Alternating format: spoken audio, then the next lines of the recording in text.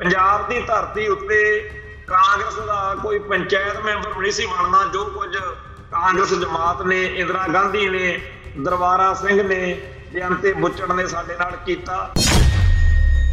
1997 ਵਾਲੀ ਅਕਾਲੀ ਦਲ ਦੀ ਸਰਕਾਰ ਤੋਂ ਬਾਅਦ ਕਾਂਗਰਸ ਦੀਆਂ ਸਰਕਾਰਾਂ ਬਣੀਆਂ ਨੇ, ਤਾਂ ਉਹਦੇ ਲਈ ਜ਼ਿੰਮੇਵਾਰ ਇੱਕੋ ਇੱਕ ਸ਼ਖਸੀਅਤ ਹੈ ਇੱਕੋ ਇੱਕ ਵਿਅਕਤੀ ਆ, ਉਹ ਆ ਸਰਦਾਰ ਪ੍ਰਕਾਸ਼ ਸਿੰਘ ਬਾਦਲ ਜਿਨੇ ਉਹ ਸਾਰਾ ਕੁਝ ਕੀਤਾ, ਜਿਹਦੇ ਨਾਲ ਲੋਕ ਦੁਖੀ ਹੋ ਕੇ ਕਾਂਗਰਸ ਵੱਲ, ਕੈਪਟਨ ਅਮਰਿੰਦਰ ਸਿੰਘ ਨੂੰ ਮੁੱਖ ਮੰਤਰੀ ਬਣਾਉਣ ਵੱਲ ਨੂੰ ਤੁਰ ਪਏ। ਬਾਦਲ ਦਾ ਵਾਲਿਆਂ ਨੇ, ਕਾਂਗਰਸ ਵਾਲਿਆਂ ਨੇ ਰਲ ਮਿਲ ਕੇ ਜਿਵੇਂ ਪੰਜਾਬ ਦਾ ਘਾਣ ਕੀਤਾ, ਜਿਹਦੇ ਉੱਤੇ ਇਹਨਾਂ ਦੀ ਸਿਆਸਤ 30 35 ਸਾਲ ਚੱਲੀ, ਜਿਹਦੇ ਵਿੱਚ ਇੰਨਾ ਭਾਰੀ ਕਤਲੇਆਮ ਮਨੁੱਖਤਾ ਦਾ ਹੋਇਆ, ਇਹ ਸਾਰਾ ਕੁਝ ਅੱਜ ਦੇ ਸਮੇਂ ਦਾ ਇਤਿਹਾਸ ਆ। ਇਹ ਗੱਲ ਬੜੀ ਵਾਰ ਉੱਡੀ। ਬਈ ਇਹ ਜੀ ਇੱਥੇ ਫੌਜ ਲਾ ਕੇ, ਸੁਪਰੀਮ ਕੋਰਟ ਤੋਂ ਫੈਸਲਾ ਲੈ ਕੇ ਇੱਥੇ ਫੌਜ ਲਾ ਕੇ ਪੰਜਾਬ ਦੇ ਵਿੱਚ ਚਾਹੇ ਇਹਨਾਂ ਨੂੰ ਐਸਵਾਈਐਲ ਬਣਾਉਣੀ ਪਵੇ, ਇਹ ਬਣਾਉਣਗੇ। ਬੇਸ਼ੱਕ ਬਾਦਲ ਸਰਕਾਰ ਨੇ ਉਹ ਜਿਹੜੀ ਜ਼ਮੀਨ ਸੀ ਉਹ ਲੋਕਾਂ ਨੂੰ ਵਾਪਸ ਕਰਨ ਦਾ ਪਖੰਡ ਵੀ ਕੀਤਾ, ਪਰ ਇਹ ਸਾਰੇ ਕਰੋੜਾਂ ਦੇ ਚੈੱਕ ਵੀ ਇਹਨਾਂ ਨੇ ਲਏ ਸੀ। ਹਰਿਆਣੇ ਦੀ ਭਾਜਪਾ ਸਰਕਾਰ ਲੋਕ ਸਭਾ ਚੋਣਾਂ ਤੋਂ ਪਹਿਲਾਂ ਐਸਵਾਈਐਲ ਨਹਿਰ ਦਾ ਪਾਣੀ ਆਪਣੇ ਸੂਬੇ 'ਚ ਲਿਆਉਣ ਦਾ ਰਾਹ ਪੱਧਰਾ ਕਰ ਰਹੀ ਆ ਜਿਹਦੇ ਤਹਿਤ ਹਿਮਾਚਲ ਪ੍ਰਦੇਸ਼ ਦੇ ਨਾਲ ਉਹਨਾਂ ਨੇ ਕੋਈ ਐਗਰੀਮੈਂਟ ਕਰਨਾ ਚਾਹਿਆ, ਜਿਹਦੇ 'ਚ 4200 ਕਰੋੜ ਰੁਪਏ ਦਾ ਖਰਚਾ ਕਰਕੇ ਇੱਕ ਜਿਹੜਾ ਨਹਿਰ ਉਹ ਬਣਾਉਣ ਨੂੰ ਫਿਰਦੇ ਆ। ਬੀਜੇਪੀ ਵਾਲਿਆਂ ਨੇ ਇਹ ਸੋਚਿਆ ਕਿ ਜੇਕਰ ਆਪਾਂ ਹਾਈ ਕੋਰਟ ਤੋਂ ਮਾਫ ਕਰਨਾ, ਸੁਪਰੀਮ ਕੋਰਟ ਤੋਂ ਫੈਸਲਾ ਕਰਵਾ ਵੀ ਲਿਆ, ਵੀ ਪੰਜਾਬ ਦੇ ਪਾਣੀ ਜਿਹੜੇ ਆ ਉਹ ਸਤਲੁਜ ਦਰਿਆ ਤੋਂ ਜਮਨਾ ਵਿੱਚ ਪਾਏ ਜਾਣ, ਤਾਂ ਆਪਾਂ ਨੂੰ ਇੱਥੇ ਥੋੜਾ ਬਹੁਤਾ ਸਖਤੀ ਕਰਨੀ ਪਊ, ਔਖ ਆਊਗੀ। ਇਹ ਨਾਲੋਂ ਬਿਹਤਰ ਤਰੀਕਾ ਵਾ ਵੀ ਹਰਿਆਣੇ ਦਾ। ਹਿਮਾਚਲ ਨਾਲ ਸੰਧੀ ਕਰਾ ਦੇ ਪੰਜਾਬ ਨੂੰ ਜਾਂ ਪੰਥ ਨੂੰ ਮਾਰਨ ਦੇ ਪਲਾਨਗਾ ਦੇ ਵਿੱਚ ਸਤਲੁਜ ਦਰਿਆ ਦਾ ਪਾਣੀ ਹਿਮਾਚਲ ਨੂੰ ਦੇ ਕੇ ਪੰਜਾਬ ਨੂੰ ਬੰਜਰ ਬਣਾਉਣ ਦੀ ਸਾਜ਼ਿਸ਼ ਆ ਜਿਹੜੀ। ਉਹ ਜਦੋਂ ਹੁਣ ਦੁਬਾਰਾ ਨਵੇਂ ਸਿਰੋਂ ਚੱਲ ਰਹੀ ਆ ਆ ਜਿਹੜੇ ਲੋਕ ਪਿੱਟਦੇ ਰਹੇ ਨੇ, ਪਹਿਲਾਂ ਕਿ ਪੰਜਾਬ 'ਚ ਖਾੜਕੂਵਾਂ ਆ ਗਿਆ ਜੀ, ਬੜਾ ਮਾੜਾ ਆ ਗਿਆ ਨਹੀਂ ਤਾਂ ਜੀ ਆ ਨਹੀਂ ਸੀ ਹੋਣਾ ਨਾ ਉਹ ਨਹੀਂ ਸੀ ਹੋਣਾ। ਖਾੜਕੂਆਂ ਨੇ ਤਾਂ ਰੱਖ ਵਿਖਾਈ। ਨਵਜੋਤ ਸਿੱਧੂ ਆ। ਉਹ ਕੱਲ ਸਟੇਜ ਤੋਂ ਬੋਲਦਾ ਬੋਲਦਾ ਵਿਕਰਮਜੀਤ ਮਜੀਠੀਏ ਨੂੰ ਜੱਫੀਆਂ ਤੇ ਘਰਾ ਗਿਆ ਵੀ ਆਓ ਜੀ, ਆਪਾਂ ਜੱਫੀਆਂ ਪਾਈਏ, ਆਪਾਂ ਹੁਣ ਪਿਛਲੀਆਂ ਗੱਲਾਂ ਭੁੱਲ ਜੀ ਜਿਹੜੇ ਭਲਵਾਨ ਇਹਨਾਂ ਦੇ ਮਗਰ ਲੱਗ ਕੇ ਐਵੇਂ ਇੱਕ ਦੂਜੇ ਦੇ ਸਿਰ ਪਾੜਦੇ ਫਿਰਦੇ ਸੀ ਵੀ ਅਸੀਂ ਜੀ ਅਕਾਲੀਆਂ ਤੇ ਉਹ ਕਹਿੰਦਾ ਸੀ ਅਸੀਂ ਕਾਂਗਰਸੀਆਂ ਚੱਕ ਦੇਾਂਗੇ ਕਈਆਂ ਦੇ ਮੁਕੱਦਮੇ ਦਰਜ ਹੋ ਗਏ। ਉਹ ਹੁਣ ਤਹਾਸ਼ਾ ਦੇਖਦੇ ਹੋਣੇ ਆ। ਸਾਰੇ ਸਿਆਸੀ ਭਲਵਾਨਾਂ ਨੂੰ ਸੱਦ ਕੇ ਬਰਜਿੰਦਰ ਸਿੰਘ ਹਮਦਰਦ ਇਸ ਮਸਲੇ ਤੇ ਕਿ ਭਾਈ ਪੰਜਾਬ ਨੂੰ ਬੰਜਰ ਬਣਾਇਆ ਜਾ ਰਿਹਾ। ਪੰਜਾਬ ਦੇ ਪਾਣੀ ਲੁੱਟੇ ਜਾ ਰਹੇ ਨੇ। ਬੀਜੇਪੀ ਵਾਲਿਓ ਦੱਸੋ ਤੁਸੀਂ ਪੰਜਾਬ ਦੇ ਨਾਲ ਹੋ ਕਿ ਹਰਿਆਣੇ ਨਾਲ ਹੋ ਕਿ ਕੇਂਦਰ ਨਾਲ? ਹੋ ਟੀਵੀ 84 ਉੱਤੇ ਪ੍ਰੋਗਰਾਮ ਖਬਰ ਦੀ ਖਬਰ ਦੇਖ ਰਹੇ ਸਾਰੇ ਦਰਸ਼ਕਾਂ ਨੂੰ। ਮੈਂ ਸਰਬਜੀਤ ਸਿੰਘ ਘੁਮਾਣ ਫਤਿਹ ਅਰਜ ਕਰਦਾ ਜੀ। ਵਾਹਿਗੁਰੂ ਜੀ ਕਾ ਖਾਲਸਾ, ਵਾਹਿਗੁਰੂ ਜੀ ਕੀ ਫਤਿਹ। ਸਭ ਤੋਂ ਜਿਹੜੀ ਪਹਿਲੀ ਖਬਰ ਅੱਜ ਸੰਗਤਾਂ ਨਾਲ ਸਾਂਝੀ ਕਰਨੀ ਆ, ਉਹ ਇਹ ਹੈ ਕਿ ਬਿਆੰਤੇ ਬੁੱਚੜ ਨੂੰ ਸੋਧਾ ਲਾਉਣ ਵਾਲੀ ਟੀਮ ਦੇ ਵਿੱਚੋਂ ਸਭ ਤੋਂ ਜਿਹਨਾਂ ਦਾ ਬਹੁਤ ਅਹਿਮ, ਸਭ ਤੋਂ ਮਹੱਤਵਪੂਰਨ ਜਾਨੀ ਕਿ ਰੋਲ ਆ, ਮੇਰੀ ਮੁਰਾਦ ਭਾਈ ਗਰਮੀਤ ਸਿੰਘ ਅਨੇਰ ਉਹਨਾਂ ਨੂੰ ਅੱਜ ਜ਼ਮਾਨਤ ਮਿਲ ਗਈ ਆ। ਜਿਹੜੀ ਉਹਨਾਂ ਦੀ ਜ਼ਮਾਨਤ ਮਨਜ਼ੂਰ ਹੋਈ ਆ, ਉਹ ਭਰ ਵੀ ਦਿੱਤੀ ਗਈ ਆ ਤੇ ਰਿਹਾਈ ਜਿਹੜੀ ਹੈਗੀ ਆ, ਉਹ ਹੋਏਗੀ ਤੇ ਭਾਈ ਗਰਮੀਤ ਸਿੰਘ ਹੁਣ ਆਪਦੇ ਘਰ ਰਹਿਣਗੇ। ਜਿਵੇਂ ਪਹਿਲਾਂ ਭਾਈ ਲਖਵਿੰਦਰ ਸਿੰਘ ਨਾਰੰਗਾਲ ਨੂੰ ਜ਼ਮਾਨਤ ਮਿਲੀ ਹੋਈ ਹੈ ਸੋ ਇਹ ਇੱਕ ਤਸੱਲੀ ਵਾਲੀ, ਸਕੂਨ ਵਾਲੀ ਖਬਰ ਆ। ਬਹੁਤ ਲੰਮੇ ਅਰਸੇ ਤੋਂ 1995 ਤੋਂ ਸਿੰਘ ਅੰਦਰ ਹੈ ਤੇ ਬੇਸ਼ੱਕ ਭਾਈ ਗੁਰਬਖਸ਼ ਸਿੰਘ ਵਾਲੀ ਭੁੱਖ ਹੜਤਾਲ ਦੇ ਸਦਕਾ ਪੈਰੋਲ ਤਾਂ ਮਿਲਣੀ ਸ਼ੁਰੂ ਹੋ ਗਈ। ਪਰ ਜਿਹੜੀ ਉਹਨਾਂ ਦੀ ਰਿਹਾਈ ਅੱਜ ਤੋਂ ਬਹੁਤ ਅਰਸਾ ਪਹਿਲਾਂ ਹੋ ਜਾਣੀ ਚਾਹੀਦੀ ਸੀ, ਉਹ ਨਹੀਂ ਹੋਈ, ਹੁਣ ਵੀ ਜ਼ਮਾਨਤ ਹੋਈ ਆ। ਤੇ ਅੱਗੇ ਜਿਹੜਾ ਮਾਮਲਾ ਹੈਗਾ, ਉਹ ਕਿੱਧਰ ਨੂੰ ਜਾਂਦਾ, ਇਹ ਵੈਗਰੂ ਜਾਣੇ। ਪਰ ਅੱਜ ਇਹ ਸੰਤੋਖ ਵਾਲੀ, ਤਸੱਲੀ ਵਾਲੀ ਖਬਰ ਜਿਹੜੀ ਹੈ, ਉਹ ਸੰਗਤਾਂ ਨਾਲ ਸਾਂਝੀ ਕਰਨ ਨੂੰ ਦਿਲ ਕੀਤਾ। ਤੇ ਇਹਦੇ ਵਿੱਚ ਐਡਵੋਕੇਟ ਜਸਪਾਲ ਸਿੰਘ ਮੰਝਪੁਰ ਦਾ ਜਾਂ ਹੋਰ ਜਿਹੜੇ ਸੱਜਣ ਜਿਨ੍ਹਾਂ ਨੇ ਮਿਹਨਤ ਕੀਤੀ, ਦਿਨ ਰਾਤ ਇਸ ਗੱਲ ਤੇ ਲੱਗੇ ਰਹੇ, ਉਹਨਾਂ ਸਾਰਿਆਂ ਦਾ ਧੰਨਵਾਦ ਕਰਦੇ ਆਂ ਭਾਈ ਗੁਰਮੀਤ ਸਿੰਘ ਇੰਜੀਨੀਅਰ ਜਿਨ੍ਹਾਂ ਦਾ ਬਹੁਤ ਨੌਜਵਾਨੀ ਦੀ ਉਮਰ ਦੇ ਵਿੱਚ ਉਦੋਂ ਜੇਲ੍ਹ ਗਏ ਸੀ, ਅੱਜ ਦਾੜਾ ਚਿੱਟਾ ਹੋਇਆ ਪਿਆ। ਮੈਂ ਇਸ ਪਰਿਵਾਰ ਕੋਲ ਅਕਸਰ ਜਾਂਦਾ ਰਹਿਣਾ ਤੇ ਜਦੋਂ ਮਾਤਾ ਜੀ ਕੋਲ ਬੈਠਦੇ ਆ ਜਦੋਂ ਪਹਿਲਾਂ ਅਜੇ ਭੈਣ ਜਿਹੜੇ ਸੀ, ਉਹਨਾਂ ਦੀ ਅਜੇ ਆਨੰਦ ਕਾਰਜ ਉਹਨਾਂ ਦੇ ਨਹੀਂ ਸੀ ਹੋਏ ਉਦੋਂ ਵੀ ਮਨ ਦੇ ਉੱਤੇ ਬੜਾ ਆਉਣਾ ਕਿ ਸਾਡੀ ਕੌਮ ਨੂੰ ਜਿੰਨਾ ਵੱਡਾ ਇਹਨਾਂ ਪਰਿਵਾਰਾਂ ਵੱਲ ਧਿਆਨ ਦੇਣ ਦੀ ਲੋੜ ਆ ਉਹਨਾਂ ਜ਼ਿਆਦਾ ਨਹੀਂ ਦਿੱਤਾ ਜਾ ਰਿਹਾ। ਬਹੁਤ ਸਾਰੀਆਂ ਚੀਜ਼ਾਂ ਨੇ, ਜਿਵੇਂ ਕਿ ਮਾਇਕ ਤੌਰ ਤੇ, ਆਰਥਿਕ ਤੌਰ ਤੇ ਐਵੇਂ ਹੀ ਜੇਕਰ ਇਹਨਾਂ ਪਰਿਵਾਰਾਂ ਦੇ ਵੱਲ ਆਪਾਂ ਮਾਇਕ ਤੌਰ ਤੇ ਕਿਸੇ ਦੇ ਕੋਲੇ ਨਹੀਂ ਗੁਜਾਇਸ਼, ਤਾਂ ਵੈਸੇ ਹੀ ਬੰਦਾ ਮਿਲਦਾ ਗਿਲਦਾ ਫੋਨ ਕਰਦਾ, ਤਾਂ ਪਰਿਵਾਰਾਂ ਨੂੰ ਖਾਸ ਤੌਰ ਤੇ ਇਹਨਾਂ ਸਿੰਘਾਂ ਨੂੰ ਅਹਿਸਾਸ ਹੋਵੇ ਕਿ ਸਾਡੀ ਕੌਮ ਸਾਡੇ ਨਾਲ ਖੜੀ ਆ। ਬਹੁਤ ਸਾਰੇ ਸੱਜਣ ਮਿੱਤਰ ਕਹੇ ਸੁਣੇ ਤੇ ਇਹਨਾਂ ਨਾਲ ਗੱਲਬਾਤ ਕਰਦੇ ਵੀ ਰਹਿੰਦੇ ਆ, ਜਾਂਦੇ ਆਉਂਦੇ ਵੀ ਆ। ਪਰ ਸਾਨੂੰ ਕਹਿਣਾ ਸੁਣਨਾ ਨਾ ਪਵੇ, ਉਲਟਾ ਸਾਡੇ ਮਨ ਵਿੱਚ ਹੋਵੇ ਕਿ ਸਾਡੀ ਕੌਮ ਦੇ ਹੀਰੋ ਨੇ, ਸਾਡੀ ਕੌਮ ਦੇ ਨਾਇਕ ਨੇ। ਇਥੋਂ ਤੱਕ ਕਿ ਚਾਹੇ ਉਹ ਭਾਈ ਬਲਵੰਤ ਸਿੰਘ ਰਾਜਵਾਲਾ ਤੇ ਚਾਹੇ ਭਾਈ ਜਗਤਾਰ ਸਿੰਘ ਤਾਰਾ, ਭਾਈ ਪਰਮਜੀਤ ਸਿੰਘ ਭੌਰਾ ਜਾਂ ਹੋਰ ਇਸ ਕੇਸ ਨਾਲ ਸੰਬੰਧਿਤ ਸਿੰਘ ਆ, ਇਹਨਾਂ ਸਾਰਿਆਂ ਦਾ ਸਤਿਕਾਰ ਜਿਹੜਾ ਹੈਗਾ ਉਹ ਕਰਨਾ ਬਣਦਾ ਕੁਝ ਇਹੋ ਜਿਹੇ ਮਾਮਲੇ ਆ ਸਾਡੇ ਸਿੱਖ ਸੰਘਰਸ਼ ਦੇ, ਜਿਨ੍ਹਾਂ ਦੇ ਵਿੱਚ ਸ਼ਾਮਲ ਯੋਧਿਆਂ ਦਾ ਸਤਿਕਾਰ ਬਹੁਤ ਜ਼ਿਆਦਾ ਕਰਨਾ ਬਣਦਾ। ਜਾਨੀ ਕਿ ਇੰਦਰਾ ਗਾਂਧੀ ਨੂੰ ਸੋਧਾ ਲਾਉਣ ਵਾਲੇ ਜਿਹੜੇ ਸਿੰਘ, ਭਾਈ ਬਿਆੰਤ ਸਿੰਘ, ਭਾਈ ਸਤਵੰਤ ਸਿੰਘ ਤੇ ਭਾਈ ਕੇਰ ਸਿੰਘ, ਇਉਂ ਹੀ ਭਾਈ ਜਿੰਦਾ ਸੁੱਖਾ, ਇਵੇਂ ਹੀ ਵੈਦਿਆਂ ਨੂੰ ਸੋਧਣ ਵਾਲੇ ਹੋਰ ਸਿੰਘ, ਜਿਨ੍ਹਾਂ ਦੇ ਬਾਰੇ ਅੱਜ ਸਾਡੇ ਬਹੁਤੇ ਭੈਣ ਭਰਾਵਾਂ ਨੂੰ ਪਤਾ ਹੀ ਨਹੀਂ ਹੈਗਾ, ਕਿਉਂਕਿ ਭਾਈ ਜਿੰਦੇ ਸੁੱਖੇ ਦਾ ਹੀ ਪਤਾ, ਇਵੇਂ ਹੀ ਜਿਹੜੇ ਬਿਆੰਤੇ ਕਾਂਡ ਵਾਲੇ ਸਿੰਘ ਨੇ, ਇਹਨਾਂ ਸਾਰਿਆਂ ਦੇ ਪ੍ਰਤੀ ਸਾਡੀ ਇੱਕ ਭਾਵਨਾ ਹੋਣੀ ਚਾਹੀਦੀ ਹੈ। ਪਰ ਅਫਸੋਸ ਦੀ ਗੱਲ ਇਹ ਆ ਕਿ ਭਾਈ, ਜਿਹੜਾ ਸਾਡਾ ਦਲਾਵਰ ਸਿੰਘ ਸ਼ਹੀਦ ਆ, ਇਹਦਾ ਬਹੁਤ ਲੰਮਾ ਅਰਸਾ ਜਿਹੜਾ ਸ਼ਹੀਦੀ ਦਿਹਾੜਾ ਵੀ ਉਵੇਂ ਨਹੀਂ ਸੀ ਮਨਾਇਆ ਜਾ ਸਕਿਆ, ਜਿਵੇਂ ਕਿ ਹੁਣ ਹਰ ਸਾਲ ਆਪਾਂ ਮਨਾਉਂਦੇ ਆ ਪਰ ਜਦੋਂ ਵੀ ਚਲੋ ਜਾਗੋ ਉਹਦੇ ਸਵੇਰਾ ਹੁਣ ਵੀ ਜੇਕਰ ਆਪਣੀ ਕੌਮ ਇਹਨਾਂ ਮਸਲਿਆਂ ਵੱਲ ਧਿਆਨ ਦੇਵੇ ਕਿ ਇਹਨਾਂ ਯੋਧਿਆਂ ਸ਼ਹੀਦਾਂ ਪ੍ਰਤੀ ਸਾਡਾ ਸਤਿਕਾਰ ਬਣਦਾ, ਸਾਡਾ ਫਰਜ਼ ਬਣਦਾ, ਤਾਂ ਸਾਨੂੰ ਜ਼ਰੂਰ ਇਸ ਪਾਸੇ ਧਿਆਨ ਦੇਣਾ ਬਣਦਾ। ਮੈਂ ਇਹ ਗੱਲ ਬਾਰ-ਬਾਰ ਕਹਿ ਰਿਹਾ ਹੈਗਾ ਕਿ ਆਰਥਿਕ ਮੋਰਚੇ ਦੇ ਨਾਲ ਨਾਲ ਸਾਨੂੰ ਇਹਨਾਂ ਦੀ ਭਾਵਨਾਤਮਕ ਜਿਹੜੀ ਲੋੜ ਆ, ਇਹ ਸਾਡੀ ਕੌਮ ਸਾਡੇ ਨਾਲ ਖੜੀ ਆ, ਉਹਦੀ ਵੀ ਬਹੁਤ ਜ਼ਿਆਦਾ ਲੋੜ ਆ। ਸਾਡੇ ਕਈ ਜਿਹੜੇ ਆ YouTube ਚੈਨਲਾਂ ਵਾਲੇ ਨੇ ਜਾਂ ਹੋਰ ਮੀਡੀਆ ਅਦਾਰਿਆਂ ਨਾਲ ਸੰਬੰਧਿਤ ਲੋਕ ਨੇ, ਉਹ ਕਈ ਵਾਰ ਇਹਨਾਂ ਵੀਰਾਂ ਭਰਾਵਾਂ ਕੋਲ ਜਾਂਦੇ ਆ ਤੇ ਨਾਵਾਚਕ ਤਸਵੀਰ ਪੇਸ਼ ਕਰਨ ਦਾ ਪੂਰਾ ਜ਼ੋਰ ਲਾ ਦਿੰਦੇ ਆ ਵੀ ਕੋਈ 네ਗੇਟਿਵ ਗੱਲ ਮਿਲੇ। ਪਰ ਹਕੀਕਤ ਇਹ ਆ ਕਿ ਇਹਨਾਂ ਯੋਧਿਆਂ ਨੇ ਜੋ ਕੁਝ ਕੀਤਾ, ਉਹਦੀ ਕਰਕੇ ਸਾਡੇ ਵਰਗੇ ਤੁਰੇ ਫਿਰਦੇ ਆ। ਜਿਸ ਤਰੀਕੇ ਨਾਲ ਬਿਆੰਤੇ ਬੁੱਚੜ ਨੇ ਪੰਜਾਬ ਦੀ ਧਰਤੀ ਤੋਂ ਪੱਗਾਂ ਦਾੜੇ ਵਾਲਿਆਂ ਨੂੰ ਖਤਮ ਕਰਨਾ ਸ਼ੁਰੂ ਕੀਤਾ ਹੋਇਆ ਸੀ। ਜਿਸ ਤਰੀਕੇ ਨਾਲ ਆਪਦੇ ਆਪ ਨੂੰ ਉਹ ਪੈਗੰਬਰ ਮੰਨਦਾ ਸੀ ਵੀ ਜਿਵੇਂ ਕੋਈ ਦੇਵੀ ਸ਼ਕਤੀ ਵਾਲਾ ਮੈਂ ਕੋਈ ਮਹਾਮਾਨਵ ਆ। ਜਿਵੇਂ ਉਹ ਮੀਡੀਆ ਦੀ ਆਜ਼ਾਦੀ ਦੇ ਖਿਲਾਫ ਲੋਕਾਂ ਦੇ ਉੱਤੇ ਜ਼ੁਲਮ ਕਰਨ ਨੂੰ ਬਿਲਕੁਲ ਜਾਇਜ਼ ਮੰਨਦਾ ਸੀ। ਆ ਰਵਨੀਤ ਬਿੱਟੂ ਅੱਜ ਕੱਲ ਜਦੋਂ ਭਗਾਈ ਮਾਰਦਾ ਤੋਂ ਅਫਸੋਸ ਆਉਂਦਾ ਕਿ ਕਿਹੜੇ ਉਹ ਲੋਕ ਨੇ ਜਿਹੜੇ ਇਹਨੂੰ ਵੋਟਾਂ ਪਾਉਂਦੇ ਆ? ਕਿਹੜੇ ਉਹ ਲੋਕ ਨੇ ਜਿਨ੍ਹਾਂ ਨੂੰ ਸ਼ਰਮ ਨਹੀਂ ਆਉਂਦੀ ਕਿ ਇਸ ਪਰਿਵਾਰ ਨੇ ਤਾਂ ਜ਼ਕਰੀਏ ਵਾਂਗੂ, ਮੱਸੇ ਰੰਗੜ ਵਾਂਗੂ ਸਾਡੀ ਕੌਮ ਦੀ ਨਸਲਕੁਸ਼ੀ ਕੀਤੀ ਆ ਤੇ ਇਹ ਤੇ ਐਮਐਲਏ ਐਮਪੀ ਬਣੇ ਫਿਰਦੇ ਆ। ਪੰਜਾਬ ਦੀ ਧਰਤੀ ਉੱਤੇ ਕਾਂਗਰਸ ਦਾ ਕੋਈ ਪੰਚਾਇਤ ਮੈਂਬਰ ਨਹੀਂ ਸੀ ਬਣਨਾ, ਜੋ ਕੁਝ ਕਾਂਗਰਸ ਜਮਾਤ ਨੇ, ਇੰਦਰਾ ਗਾਂਧੀ ਨੇ, ਦਰਬਾਰਾ ਸਿੰਘ ਨੇ ਬੇਅੰਤੇ ਬੁੱਚੜ ਨੇ ਸਾਡੇ ਨਾਲ ਕੀਤਾ। ਪਰ ਜੇ ਇੱਥੇ 1997 ਵਾਲੀ ਅਕਾਲੀ ਦਲ ਦੀ ਸਰਕਾਰ ਤੋਂ ਬਾਅਦ ਕਾਂਗਰਸ ਦੀਆਂ ਸਰਕਾਰਾਂ ਬਣੀਆਂ ਨੇ, ਤਾਂ ਉਹਦੇ ਲਈ ਜ਼ਿੰਮੇਵਾਰ ਇੱਕੋ ਇੱਕ ਸ਼ਖਸੀਅਤ ਹੈ ਇੱਕੋ ਇੱਕ ਵਿਅਕਤੀ ਆ, ਉਹ ਆ ਸਰਦਾਰ ਪ੍ਰਕਾਸ਼ ਸਿੰਘ ਬਾਦਲ ਜਿਨੇ ਉਹ ਸਾਰਾ ਕੁਝ ਕੀਤਾ, ਜਿਹਦੇ ਨਾਲ ਲੋਕ ਦੁਖੀ ਹੋ ਕੇ ਕਾਂਗਰਸ ਵੱਲ, ਕੈਪਟਨ ਅਮਰਿੰਦਰ ਸਿੰਘ ਨੂੰ ਮੁੱਖ ਮੰਤਰੀ ਬਣਾਉਣ ਵੱਲ ਨੂੰ ਤੁਰ ਪਏ। ਨਹੀਂ ਤਾਂ ਇਸ ਪਾਰਟੀ ਦਾ ਮੁੜ ਕੇ ਇੱਥੇ ਬੀਜਨਾਸ਼ ਹੋਇਆ ਪਿਆ ਹੋਣਾ ਸੀ।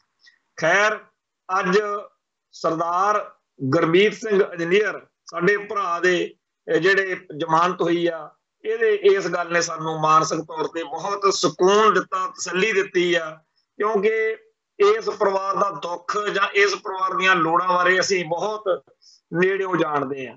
ਖੈਰ, ਜਿਹੜੀ ਦੂਸਰੀ ਇਸ ਤੋਂ ਅਗਲੀ ਜ਼ਰੂਰੀ ਜਿਹੜੀ ਗੱਲ ਕਰਨ ਵਾਲੀ ਆ, ਉਹ ਇਹ ਹੈ ਕਿ ਆਪਣਾ ਇਹ ਜਿਹੜਾ ਸੰਘਰਸ਼ ਚੱਲਿਆ, ਇਹ ਚੱਲਿਆ ਸੀ ਸਤਲੁਜ ਜਮਨਾ ਲਿੰਕ ਨਹਿਰ ਤੋਂ, ਜਦੋਂ ਇੰਦਰਾ ਗਾਂਧੀ ਕਪੂਰੀ ਨਹਿਰ ਦਾ ਟੱਕ ਲਾਉਣ ਆਈ ਤੇ ਉੱਥੋਂ ਇਹ ਮੋਰਚਾ ਲੱਗਿਆ ਤੇ ਇਧਰ ਦਰਬਾਰ ਸਾਹਿਬ ਦੇ ਵਿੱਚ ਇਸ ਤੋਂ ਪਹਿਲਾਂ ਹੀ ਸੰਤ ਗਿਆਨੀ ਜਰਨੈਲ ਸਿੰਘ ਜੀ ਖਾਲਸਾ ਭਿੰਡਰਾਂ ਵਾਲਿਆਂ ਨੇ ਮੋਰਚਾ ਲਾਇਆ ਹੋਇਆ ਸੀ ਜਿਹੜਾ ਜਿਹੜਾ ਚ ਨਜ਼ਰਬੰਦ ਸਿੰਘ ਸੀ ਉਹਨਾਂ ਦੀ ਰਿਹਾਈ ਦੇ ਲਈ ਭਾਈ ਅਮਰੀਕ ਸਿੰਘ, ਬਾਬਾ ਠਾਰਾ ਸਿੰਘ ਤੇ ਹੋਰ ਸਿੰਘਾਂ ਨੂੰ ਗ੍ਰਿਫਤਾਰ ਕੀਤਾ ਸੀ।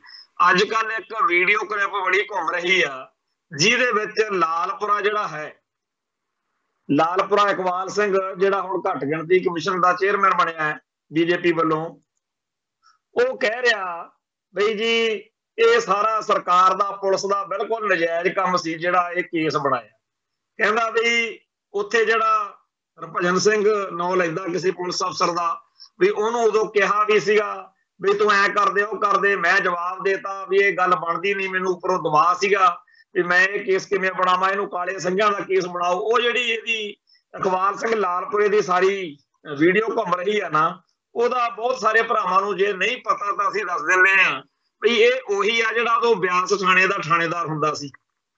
ਇਸ ਬੰਦੇ ਨੇ ਉੱਥੇ ਹੋਰ ਪੁਲਿਸ ਵਾਲਿਆਂ ਨਾਲ ਮਿਲ ਕੇ ਮਹਿਤਾ ਚੌਂਕ ਤੋਂ ਲੈ ਕੇ ਬਿਆਸ ਉਸ ਸਾਰੇ ਹਲਕੇ ਦੇ ਵਿੱਚ ਨੰਦਮੀ ਟਕਸਾਲ ਨਾਲ ਸੰਬੰਧਿਤ, ਫੈਡਰੇਸ਼ਨ ਨਾਲ ਸੰਬੰਧਿਤ ਸਿੱਖਾਂ ਉੱਤੇ ਬਾਕੀ ਜਿਵੇਂ ਪੰਜਾਬ ਦੇ ਵਿੱਚ ਅੱਡ ਅੱਡ ਥਾਣੇਦਾਰ ਜ਼ੁਲਮ ਕਰਦੇ ਸੀ, ਇਹਨੇ ਵੀ ਕੀਤਾ ਤੇ ਉੱਥੇ ਫੜ ਕੇ ਮੁਕੱਦਮਾ ਜਦੋਂ ਦਿੱਤਾ, ਉਹਨਾਂ ਦੀ ਪੈਰਵਾਈ ਲਈ ਜਿਹੜੇ ਸਿੰਘ ਉਸ ਦਾ ਨਾਲ ਜੀਪ ਤੇ ਜਾਂਦੇ ਸੀਗੇ, ਜਿਹੜੇ ਕਿ ਮਹਾਪੁਰਸ਼ਾਂ ਦੇ ਕੋਲੋਂ ਮਹਿਤਾ ਚੌਕ ਤੋਂ ਤੁਰੇ ਸੀਗੇ ਤੇ ਇੱਥੋਂ ਸੜਕ ਕ੍ਰੋਸ ਕਰਕੇ ਉਹਨਾਂ ਨੇ ਖਡੂਰ ਸਾਹਿਬ ਵਾਲੇ ਪਾਸੇ ਨੂੰ ਜਾਣਾ ਸੀ। ਇੱਥੇ ਉਹਨਾਂ ਨੂੰ ਰੋਕ ਕੇ ਉਹਨਾਂ ਤੇ ਝੂਠਾ ਮੁਕੱਦਮਾ ਜਿਹੜਾ ਬਣਾਇਆ, ਜਦੋਂ ਉਹਦੀ ਪੈਰਵਾਈ ਲਈ ਬਾਬਾ ਠਾਰਾ ਸਿੰਘ ਤੇ ਭਾਈ ਅਮਰੀਕ ਸਿੰਘ ਤੇ ਹੋਰ ਸਿੰਘ ਇੱਥੇ ਆਏ। ਤੇ ਇੱਥੇ ਆ ਕੇ ਕਚਹਿਰੀਆਂ 'ਚ ਅੰਮ੍ਰਿਤਸਰ ਇਹਨਾਂ ਨੂੰ ਵੀ ਫੜ ਲਿਆ ਤੇ ਇਹਨਾਂ ਤੇ ਵੀ ਜਿਹੜੇ ਸੀ ਝੂਠੇ ਕੇਸ ਫਿੱਟ ਕਰਤੇ ਵੀ ਤੁਸੀਂ ਫਲਾਨਾ ਠੋਕਿਆ, ਫਲਾਨਾ ਮਾਰਿਆ। ਤੇ ਇਸ ਮੌਕੇ ਭਾਈ ਰਾਮ ਸਿੰਘ ਚਲੰਦਾ ਜਿਨ੍ਹਾਂ ਦਾ ਆਪਾਂ ਪਿਛਲੇ ਪ੍ਰੋਗਰਾਮ 'ਚ ਜ਼ਿਕਰ ਕੀਤਾ ਸੀ, ਉਹ ਵੀ ਸੀਗੇ ਇੱਥੇ, ਪਰ ਉਹ ਚਲੇ ਗਏ ਤੋਂ ਟਾਣਾ ਕਰ ਗਏ। ਉਪਰੰਤ ਇਹ ਸੰਘਰਸ਼ ਫਿਰ ਇਸ ਦਿਨ ਤੋਂ ਅੱਗੇ ਵਧਿਆ ਤੇ ਜਿਹੜਾ ਮੋਰਚਾ ਲੱਗਿਆ, ਉਹਦੇ ਬਾਰੇ ਵੀ ਕਹਿੰਦੇ ਆ ਵੀ ਭਾਈ ਰਾਮ ਸਿੰਘ ਚਲੰਦਾ ਜਿਹੜੇ ਸੀ, ਉਹਨਾਂ ਨੇ ਮਹਾਪੁਰਸ਼ਾਂ ਸੰਤ ਗਿਆਨੀ ਜਰਨੈਲ ਸਿੰਘ ਜੀ ਖਾਲਸਾ ਪਿੰਡਰਾਂ ਵਾਲਿਆਂ ਨੂੰ ਵਿਸ਼ੇਸ਼ ਤੌਰ ਦੇ ਉੱਤੇ ਇਸ ਗੱਲ ਲਈ ਤਿਆਰ ਕੀਤਾ ਤੇ ਇੱਥੇ ਮੋਰਚਾ ਜਿਹੜਾ ਹਸੀਆ ਜਿਹੜਾ ਚ ਨਜ਼ਰਬੰਦ ਸਿੰਘਾਂ ਦਾ, ਉਹਨਾਂ ਦੀ ਰਿਹਾਈ ਦੇ ਲਈ ਜਥੇ ਭੇਜੇ ਜਾ ਰਹੇ ਸੀ।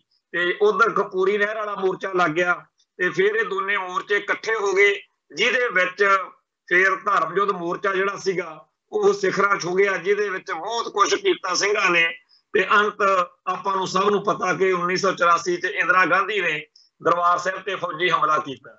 ਜਿਹੜਾ ਆਪਣਾ ਮੁੱਖ ਮਸਲਾ ਸੀ ਕਿ ਸਤਲੁਜ ਦਰਿਆ ਦਾ ਪਾਣੀ ਜਮਨਾ ਦਰਿਆ ਦੇ ਵਿੱਚ ਪਾਉਣ ਵਾਲਾ ਪ੍ਰੋਜੈਕਟ ਅਸੀਂ ਨਹੀਂ ਚੱਲਣ ਦੇਣਾ ਪੰਜਾਬ ਨੂੰ ਬੰਜਰ ਬਣਾਉਣ ਦੀ ਜਾਂ ਪੰਜਾਬ ਦੇ ਦਰਿਆਈ ਪਾਣੀ ਲੁੱਟਣ ਦੀ ਜਿਹੜੀ ਸਾਜ਼ਿਸ਼ ਆ, ਉਹ ਅਸੀਂ ਅਸਫਲ ਕਰਨੇ ਆ।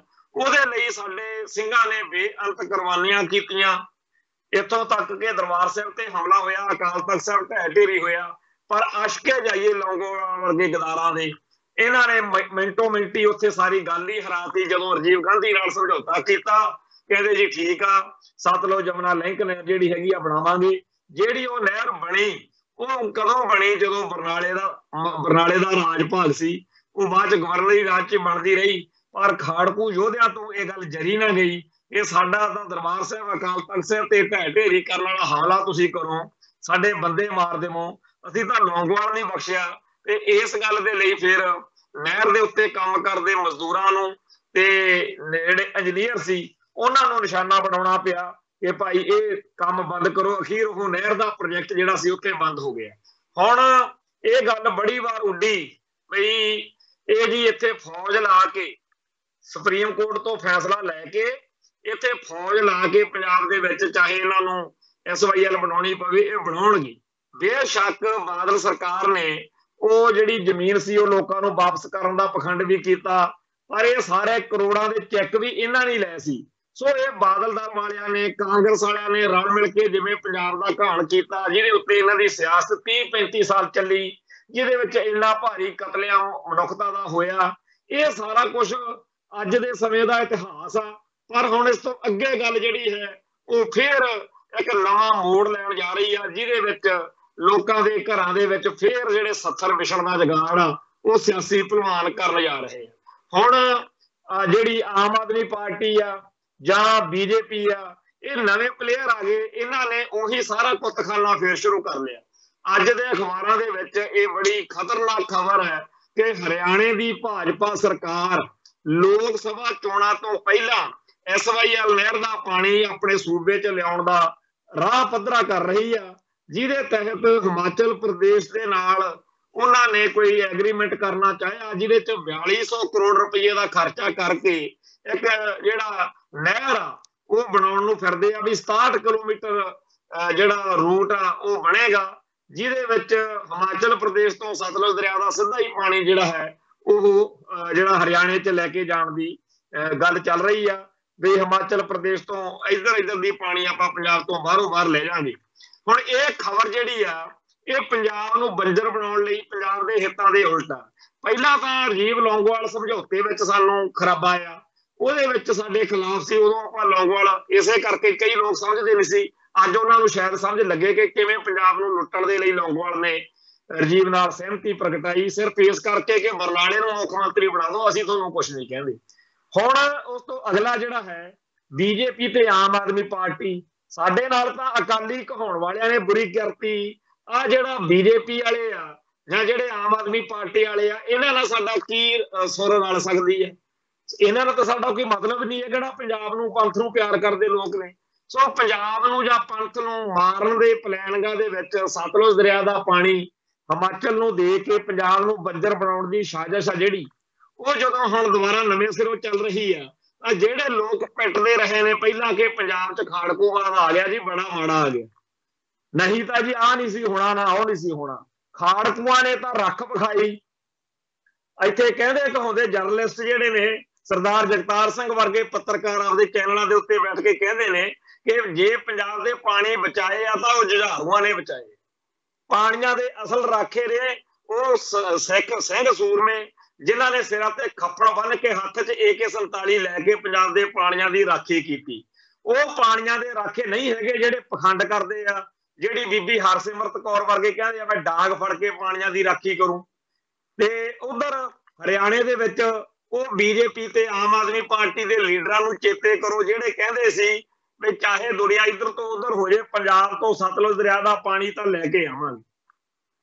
ਉਦੋਂ ਆਪਣੇ ਲੋਕਾਂ ਨੂੰ ਇਹ ਗੱਲ ਯਾਦ ਚੇਤੇ ਨਹੀਂ ਸੀ। ਬਹੁਤ ਸਾਰੇ ਭੈਣ ਭਰਾ ਇਸ ਗੱਲ ਨੂੰ ਹਲਕੇ 'ਚ ਲੈ ਗਏ। ਜਦੋਂ ਸਿੱਧੂ ਮੂਸੇਵਾਲੇ ਨੇ ਉਹ ਗੀਤ ਗਾਇਆ ਸੀ ਐਸਵਾਈਐਲ ਉਹਨਾਂ ਦਿਨਾਂ ਦੇ ਵਿੱਚ ਇੱਕ ਲੀਡਰ ਦੀ ਇਹ ਜੀ ਸਟੇਟਮੈਂਟ ਘੁੰਮ ਰਹੀ ਸੀ, ਜਿਹਦੇ ਵਿੱਚ ਉਹਨੇ ਕਿਹਾ ਸੀਗਾ ਕਿ ਪੰਜਾਬ ਤੋਂ ਪਾਣੀ ਜਿਹੜਾ ਹੈਗਾ, ਉਹ ਇੱਧਰ ਦਿੱਤਾ ਜਾਊਗਾ। ਖੈਰ, ਹੁਣ ਬਿੱਲੀ ਥੈਲੇ ਤੋਂ ਬਾਹਰ ਆ ਚੁੱਕੀ ਹੈ। ਹੁਣ ਉਹਨਾਂ ਨੇ ਬੀਜੇਪੀ ਵਾਲਿਆਂ ਨੇ ਇਹ ਸੋਚਿਆ ਕਿ ਜੇਕਰ ਆਪਾਂ ਹਾਈ ਕੋਰਟ ਤੋਂ ਮਾਫ ਕਰਨਾ ਸੁਪਰੀਮ ਕੋਰਟ ਤੋਂ ਫੈਸਲਾ ਕਰਵਾ ਵੀ ਲਿਆ, ਵੀ ਪੰਜਾਬ ਦੇ ਪਾਣੀ ਜਿਹੜੇ ਆ, ਉਹ ਸਤਲੁਜ ਦਰਿਆ ਤੋਂ ਜਮਨਾ ਵਿੱਚ ਪਾਏ ਜਾਣ, ਤਾਂ ਆਪਾਂ ਨੂੰ ਇੱਥੇ ਥੋੜਾ ਬਹੁਤਾ ਸਖਤੀ ਕਰਨੀ ਪਊ, ਔਖ ਆਊਗੀ।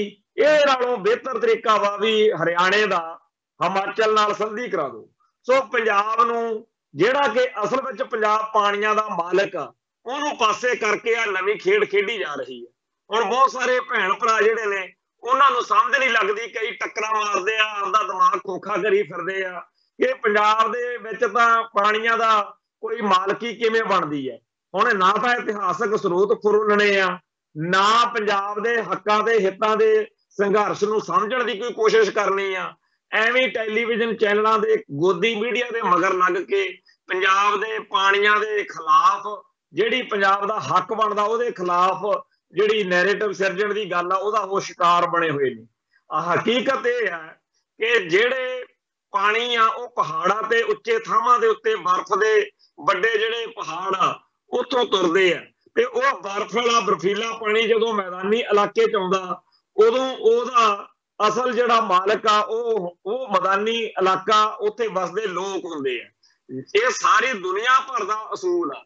ਐਵੇਂ ਹੀ ਜਿਹੜੇ ਪੰਜਾਬ ਦੇ ਪਹਿਲਾਂ ਤਾਂ ਪੰਜ ਸੀ, ਪਹਿਲਾਂ ਕਿਸੇ ਟਾਈਮ ਤੇ ਸੱਤ ਵੀ ਸੀ, ਇਹਨੂੰ ਸਬਤ ਸਿੰਧੂ ਜਦੋਂ ਕਿਹਾ ਗਿਆ, ਫਿਰ ਇਹਨੂੰ ਪੰਜ ਦਰਿਆਵਾਂ ਦੀ ਧਰਤੀ ਪੰਜਾਬ ਕਿਹਾ ਗਿਆ, ਪੰਜ ਆਬ ਆਬ ਹੁੰਦਾ ਪਾਣੀ। ਸੋ ਪੰਜ ਦਰਿਆਵਾਂ ਦੀ ਧਰਤੀ 1947 ਮੌਕੇ ਹੁਣ ਤਾਂ ਆਪਣੇ ਕੋਲੇ ਢਾਈ ਦਰਿਆ ਰਹਿ ਗਏ। ਸਤਲੁਜ ਬਿਆਸ ਤੇ ਰਾਵੀ। ਤੇ ਇਹਨਾਂ ਪੰਜਾਂ ਦਰਿਆਵਾਂ ਦੀ ਧਰਤੀ ਨੂੰ ਜਿਨ੍ਹਾਂ ਨੇ ਢਾਈ ਦਰਿਆਵਾਂ 'ਚ ਬਦਲਿਆ, ਹੁਣ ਉਹਨਾਂ ਨੂੰ ਵੀ ਇਸ ਗੱਲ ਦੇ ਉੱਤੇ ਤਸੱਲੀ ਨਹੀਂ ਹੈ। ਉਹਨਾਂ ਨੂੰ ਲੱਗਦਾ ਕਿ ਪਾਣੀ ਜਿਹੜੇ ਆ, ਉਹ ਹੋਰ ਲੁੱਟਣੇ ਚਾਹੀਦੇ ਆ। ਸੋ ਸਤਲੁਜ ਦਰਿਆ ਦਾ ਪਾਣੀ ਲੁੱਟਣ ਦਾ ਜਗਾੜ ਜਿਹੜਾ, ਉਹ ਇਹਨਾਂ ਦਿਨਾਂ ਦੇ ਵਿੱਚ ਅਖਬਾਰੀ ਚਰਚਾ ਦਾ ਵਿਸ਼ਾ ਬਣਿਆ ਹੋਇਆ। ਹੁਣ ਜਿਹੜੇ ਲੋਕ ਕਹਿੰਦੇ ਰਹੇ ਨੇ ਕਿ ਹਥਿਆਰ ਚੱਕ ਕੇ ਜੀ ਕਾਨੂੰਨ ਹੱਥ 'ਚ ਨਹੀਂ ਲਹੀਦਾ ਜਿਹੜੇ ਲੋਕ ਇਹ ਜਵੜੀਆਂ ਮਾਰਦੇ ਰਹੇ ਨੇ ਵੀ ਖਾੜਕੂਆਂ ਨੇ ਕੰਮ ਖਰਾਬ ਕਰਤਾ, ਭਾਈ ਹੁਣ ਨਾ ਖਾੜਕੂ ਆਉਣ ਤੇ ਨਾ ਤੁਹਾਡਾ ਕੰਮ ਖਰਾਬ ਕਰਨ ਤੇ ਨਾ ਤੁਹਾਡਾ ਕਾਨੂੰਨ ਹੱਥ 'ਚ ਲੈਣ, ਜਾਓ ਜਾ ਕੇ ਪੰਜਾਬ ਦੇ ਪਾਣੀ ਬਚਾ ਕੇ ਦਿਖਾ ਦਿਓ। ਇਹ ਉਹ ਸੂਰਮੇ ਸੀ ਜਿਨ੍ਹਾਂ ਦੀ ਹਥਿਆਰਾਂ ਦੀ ਦਹਿਸ਼ਤ ਦੇ ਸਾਹਮਣੇ ਇੰਡੀਆ ਲਿਫਿਆ ਸੀ। ਉਹਨਾਂ ਟਾਈਮ ਇੱਕ ਚਮਚਾ ਸੀ ਦਾ ਲੱਗਣ ਨਹੀਂ ਦਿੱਤਾ ਸੂਰਮਿਆਂ ਨੇ। ਆ ਜਿਹੜੇ ਹੁਣ ਆਪਦੇ ਆਪ ਨੂੰ ਵੱਡੇ ਡੈਮੋਕ੍ਰੇਸੀ ਦੇ ਝੰਡਾ ਪ੍ਰਦਾਰ ਸਮਝਦੇ ਨੇ, ਕਈ ਢੱਡਰੀਆਂ ਵਾਲੇ ਵਰਗੇ, ਧੂੰਦੇ ਵਾਲੇਗੇ ਤੇ ਕੋਈ ਹੋਰ, ਜਿਨ੍ਹਾਂ ਦਾ ਇੱਕ ਲਕਾਤੀ ਪ੍ਰੋਗਰਾਮ ਸਿੱਖਾਂ ਦੇ ਅੰਦਰ ਕੌਮੀ ਜਜ਼ਬੇ ਨੂੰ ਮਾਰਨਾ, ਪੰਥ ਦੀ ਚੜ੍ਹਦੀ ਕਲਾ ਲਈ ਸੋਚਣ ਵਾਲੀ, ਉਸ ਬਿਰਤੀ ਨੂੰ ਖਤਮ ਕਰਨਾ ਤੇ ਹੱਕ ਸੱਚ ਲਈ ਸਿਰਾਂ ਤੇ ਖੱਫਣ ਬੰਨ ਕੇ ਜੂਝਣ ਦੇ ਉਸ ਚਾਹ ਨੂੰ ਖਤਮ ਕਰਨਾ ਹੈ ਉਹ ਹੁਣ ਭਾਈ ਪੰਜਾਬ ਦੇ ਪਾਣੀ ਬਚਾ ਕੇ ਦਿਖਾ ਦੇਣ। ਆ ਜਿਹੜੇ ਬਾਦਲ ਹੋਣੀ ਤੇ ਕਾਂਗਰਸੀ ਤੇ ਭਾਜਪਾਈ ਤੇ ਹੋਰ ਸਾਰੇ ਰਲ ਮਿਲ ਕੇ ਪੰਜਾਬ ਦਾ ਪਾਣੀ ਲਟਾਉਣ ਲਈ ਪਹਿਲਾਂ ਤਤਪਰ ਰਹੇ ਨੇ, ਹੁਣ ਫੇਰ ਉਹ ਖੇਡਾਂ ਖੇਡਣਗੇ। ਦੁਨੀਆ ਸਾਹਮਣੇ ਡਰਾਮਾ ਪੂਰਾ ਕਰਨਗੇ ਕਿ ਜੀ ਅਸੀਂ ਤਾਂ ਪੰਜਾਬ ਦੇ ਪਾਣੀਆਂ ਦੀ ਰਾਖੀ ਲਈ ਬੜਾ ਕੁਝ ਕਰ ਰਹੇ ਹਾਂ। ਪਰ ਕਹਿਣਗੇ ਜੀ ਅਸੀਂ ਬੇਬਸ ਆ ਇਹ ਤਾਂ ਜੀ ਹਿਮਾਚਲ ਅਤੇ ਹਰਿਆਣੇ ਦਾ ਬਾਹਰੋਂ ਬਾਹਰ ਸਭ ਤੋਂ ਸਮਝੌਤਾ ਹੋ ਗਿਆ, ਹੁਣ ਅਸੀਂ ਕੀ ਕਰੀਏ? ਖੈਰ, ਇਹ ਜਿਹੜਾ ਸਾਰਾ ਮਾਮਲਾ ਆਉਣ ਵਾਲੇ ਦਿਨਾਂ ਦੇ ਵਿੱਚ ਹਰੇਕ ਦੇ ਪਰਦੇ ਨੰਗੇ ਕਰੂ। ਜਿਹੜੇ ਲੋਕ ਹੁਣ ਤੱਕ ਦੁਨੀਆ ਨੂੰ ਬੇਵਕੂਫ ਬਣਾਈ ਗਏ ਨੇ ਕਿ ਜੀ ਅਸੀਂ ਤਾਂ ਬੜੇ ਬੀਬੇ ਆ ਅਸੀਂ ਤਾਂ ਪਾਣੀਆਂ ਲਈ, ਪੰਜਾਬ ਦੇ ਹੱਕਾਂ ਲਈ ਕਮਾਲ ਕਰ ਦਿਆਂਗੇ ਉਹਨਾਂ ਦੀ ਹੁਣ ਪਰਖ ਦੀ ਘੜੀ ਆ ਜੇ ਆ ਰਹੀ ਆ। ਕਿਉਂਕਿ ਜਿਨ੍ਹਾਂ ਨੂੰ ਕਹਿੰਦੇ ਸੀ ਵੀ ਕਾਨੂੰਨ ਹੱਥ 'ਚ ਲੈਂਦੇ ਆ, ਉਹ ਤਾਂ ਹੁਣ ਹੈ ਨਹੀਂ। ਇੱਥੇ ਇੱਕ ਗੱਲ ਹੋਰ ਚੇਤੇ ਕਰਨ ਰੱਖਣ ਵਾਲੀ ਆ ਕਿ ਖਾੜਕੂ ਲਹਿਰ ਦੇ ਵਿੱਚ ਉਹ ਸਾਰੇ ਕੰਮ ਹੋਏ ਜਿਨ੍ਹਾਂ ਨੂੰ ਕਾਨੂੰਨ ਅਨੁਸਾਰ ਵੈਸੇ ਹੋਣਾ ਚਾਹੀਦਾ ਸੀ। ਆ ਜਿਹੜਾ ਪੰਜਾਬੀ ਲਾਗੂ ਕਰਨ ਦਾ ਫੈਸਲਾ ਜਾਂ ਹੋਰ ਬਹੁਤ ਸਾਰੇ ਫੈਸਲੇ ਆ, ਉਹ ਸਾਰੇ ਜਦੋਂ ਜੁਝਾਰੂਆਂ ਨੇ ਕੀਤੇ, ਉਦੋਂ ਚੀਕਾਂ ਮਾਰਦੇ ਸੀ, ਹੁਣ ਫਿਰ ਬਾਅਦ ਚ ਆਪ ਉਹ ਫੈਸਲਿਆਂ ਦੀ ਹਮਾਇਤ ਕਿਉਂ ਕਰ ਰਹੇ ਨੇ?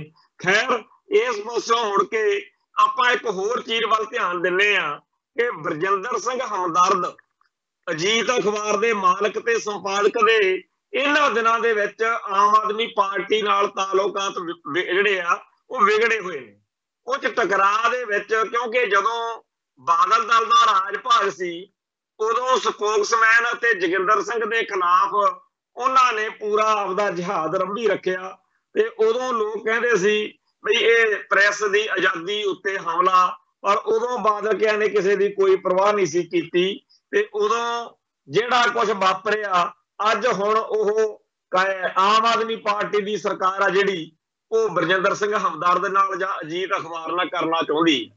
ਜਿਹੜਾ ਇੱਥੇ ਕਰਤਾਰਪੁਰ ਦੇ ਕੋਲੇ ਜੰਗੇ ਆਜ਼ਾਦੀ ਵਾਲਾ ਪ੍ਰੋਜੈਕਟ ਆ ਉਹਦੇ ਸੰਬੰਧ ਵਿੱਚ ਕੋਈ ਲੈਣ ਦੇਣ ਦੇ ਮਾਮਲਿਆਂ 'ਚ ਘਪਲਾ ਜਿਹੜਾ, ਉਹਦੇ ਬਹਾਨੇ ਬਰਜਿੰਦਰ ਸਿੰਘ ਹਮਦਰਦ ਨੂੰ ਟਾਰਗੇਟ ਕੀਤਾ ਜਾ ਰਿਹਾ। ਇਹਦੇ ਬਾਰੇ ਅੱਡ ਅੱਡ ਰਹੇ ਆ। ਬਹੁਤ ਸਾਰੇ ਲੋਕ ਕਹਿੰਦੇ ਆ ਕਿ ਇਹਦਾ ਕੋਈ ਮਤਲਬ ਬਣਦਾ ਨਹੀਂ। ਇਹ ਸਾਰੀ ਸਿਆਸੀ ਬਦਲਾਖੋਰੀ ਦੇ ਤਹਿਤ ਕੀਤਾ ਜਾ ਰਿਹਾ। ਇਹਦੇ ਬਾਰੇ ਜਿੱਥੇ ਇਹ ਗੱਲ ਆ, ਉੱਥੇ ਨਾਲ ਦੀ ਨਾਲ ਬਹੁਤ ਸਾਰੇ ਸੱਜਣ ਸੋਚਦੇ ਆ ਕਿ ਜੇ ਉਹਨਾਂ ਨੇ ਝੂਠਾ ਇਲਜ਼ਾਮ ਲਾ ਹੀ ਦਿੱਤਾ ਹੈ, ਤਾਂ ਫਿਰ ਇਹਦੇ ਵਿੱਚ ਦੀ ਲੰਘ ਕੇ ਸੁਰਖਰੂ ਹੋ ਕੇ ਦੁਨੀਆ ਦੇ ਸਾਹਮਣੇ ਪੱਟ ਤੇ ਥਾਪੀ ਮਾਰਨੀ ਚਾਹੀਦੀ ਆ ਬਰਜਿੰਦਰ ਸਿੰਘ ਹਮਦਰਦ ਨੂੰ। ਇੱਥੇ ਇਸ ਗੱਲ ਦੇ ਉੱਤੇ ਸਾਰੇ ਜਿਹੜੇ ਸਿਆਸੀ ਪ੍ਰਵਾਨ ਨੇ, ਉਹਨਾਂ ਨੇ ਇਕੱਠੇ ਹੋ ਕੇ ਇੱਕ ਤਰੀਕੇ ਨਾਲ ਸਰਦਾਰ ਬਰਜਿੰਦਰ ਸਿੰਘ ਹਮਦਰਦ ਦੇ ਹੱਕ 'ਚ ਡਟ ਕੇ ਇਹ ਗੱਲ ਕਹੀ ਹੈ ਕਿ ਇਹਨਾਂ ਨੂੰ ਜਿਹੜਾ ਹੈਗਾ ਉਵੇਂ ਪੇਸ਼ਪੂਸ਼ ਹੋਣ ਦੀ ਲੋੜ ਨਹੀਂ, ਜਾਂਚ ਜੋਜ ਦਾ ਸਾਹਮਣਾ ਕਰਨ ਦੀ ਲੋੜ ਨਹੀਂ। ਜਿਹੜੀ ਸਿਆਸੀ ਤੌਰ ਤੇ ਜਿਹੜਾ ਫੈਸਲਾ ਉਹ ਵਾਪਸ ਲੈਣਾ ਚਾਹੀਦਾ ਆਮ ਆਦਮੀ ਪਾਰਟੀ ਦੀ ਸਰਕਾਰ ਨੂੰ।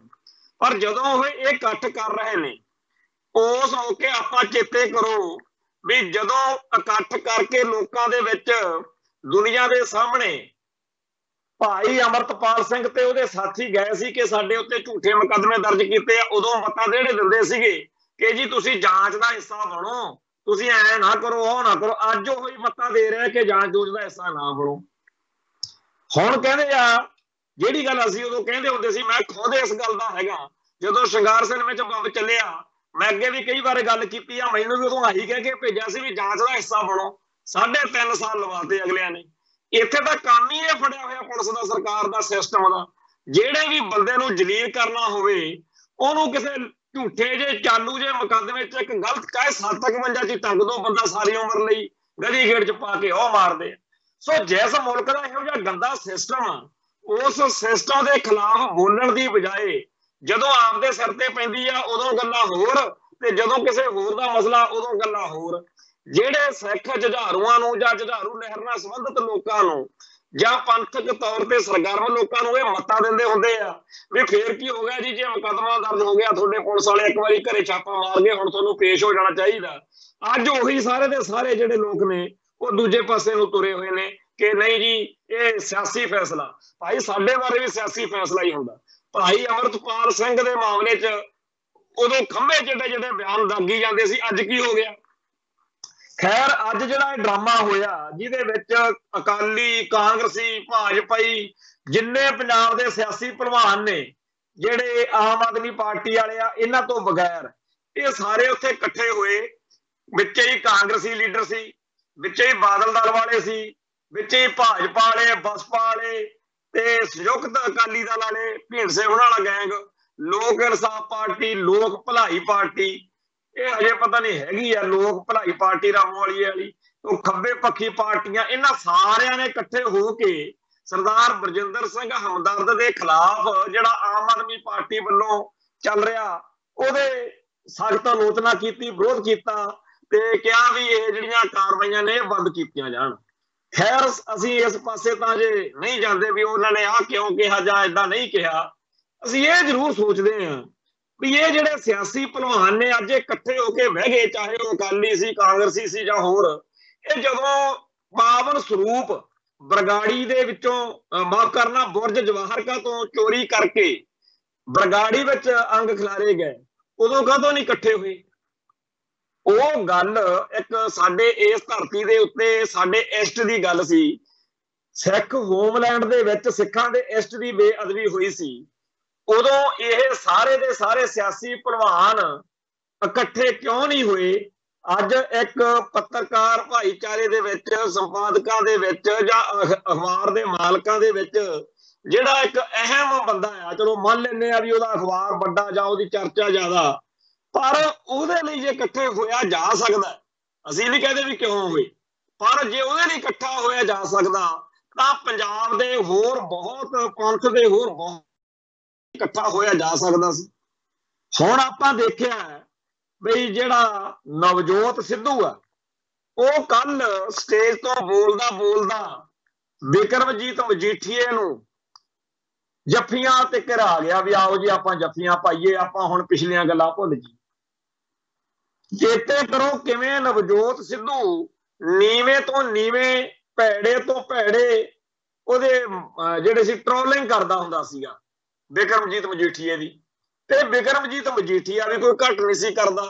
ਅੱਜ ਉਹਨਾਂ ਨੇ ਉਹ ਗੱਲੀ ਨਹੀਂ ਡੋਲੀ ਤੇ ਜਿਹੜੇ ਪਹਿਲਵਾਨ ਇਹਨਾਂ ਦੇ ਮਗਰ ਲੱਗ ਕੇ ਐਵੇਂ ਇੱਕ ਦੂਜੇ ਦੇ ਸਿਰ ਪਾੜਦੇ ਫਿਰਦੇ ਸੀ ਵੀ ਅਸੀਂ ਜੀ ਅਕਾਲੀਆਂ ਤੇ ਉਹ ਕਹਿੰਦਾ ਸੀ ਅਸੀਂ ਕਾਂਗਰਸੀਆਂ ਚੱਕ ਦੇਾਂਗੇ ਕਈਆਂ ਦੇ ਮੁਕੱਦਮੇ ਦਰਜ ਹੋ ਗਏ। ਉਹ ਹੁਣ ਤਹਾਸ਼ਾ ਦੇਖਦੇ ਹੋਣੇ ਆ ਵੀ ਇਹ ਤਾਂ ਜੱਫੀ ਪਾਈ ਖੜੇ ਆ ਸਿੱਧੂ ਤੇ ਮਜੀਠੀਆ। ਸੋ ਇਹ ਜਿਹੜੇ ਬਾਕੀ ਨੇ, ਇਹਨਾਂ ਦੀਆਂ ਲੜਾਈਆਂ ਵੀ ਇਹੋ ਜਿਹੀਆਂ ਹੀ ਨੇ। ਇਹਨਾਂ ਦੀ ਇਹ ਸ਼ੋਸ਼ੇਬਾਜ਼ੀ, ਡਰਾਮੇਬਾਜ਼ੀ ਮਿੰਟ ਲਾਉਂਦੇ ਨੇ।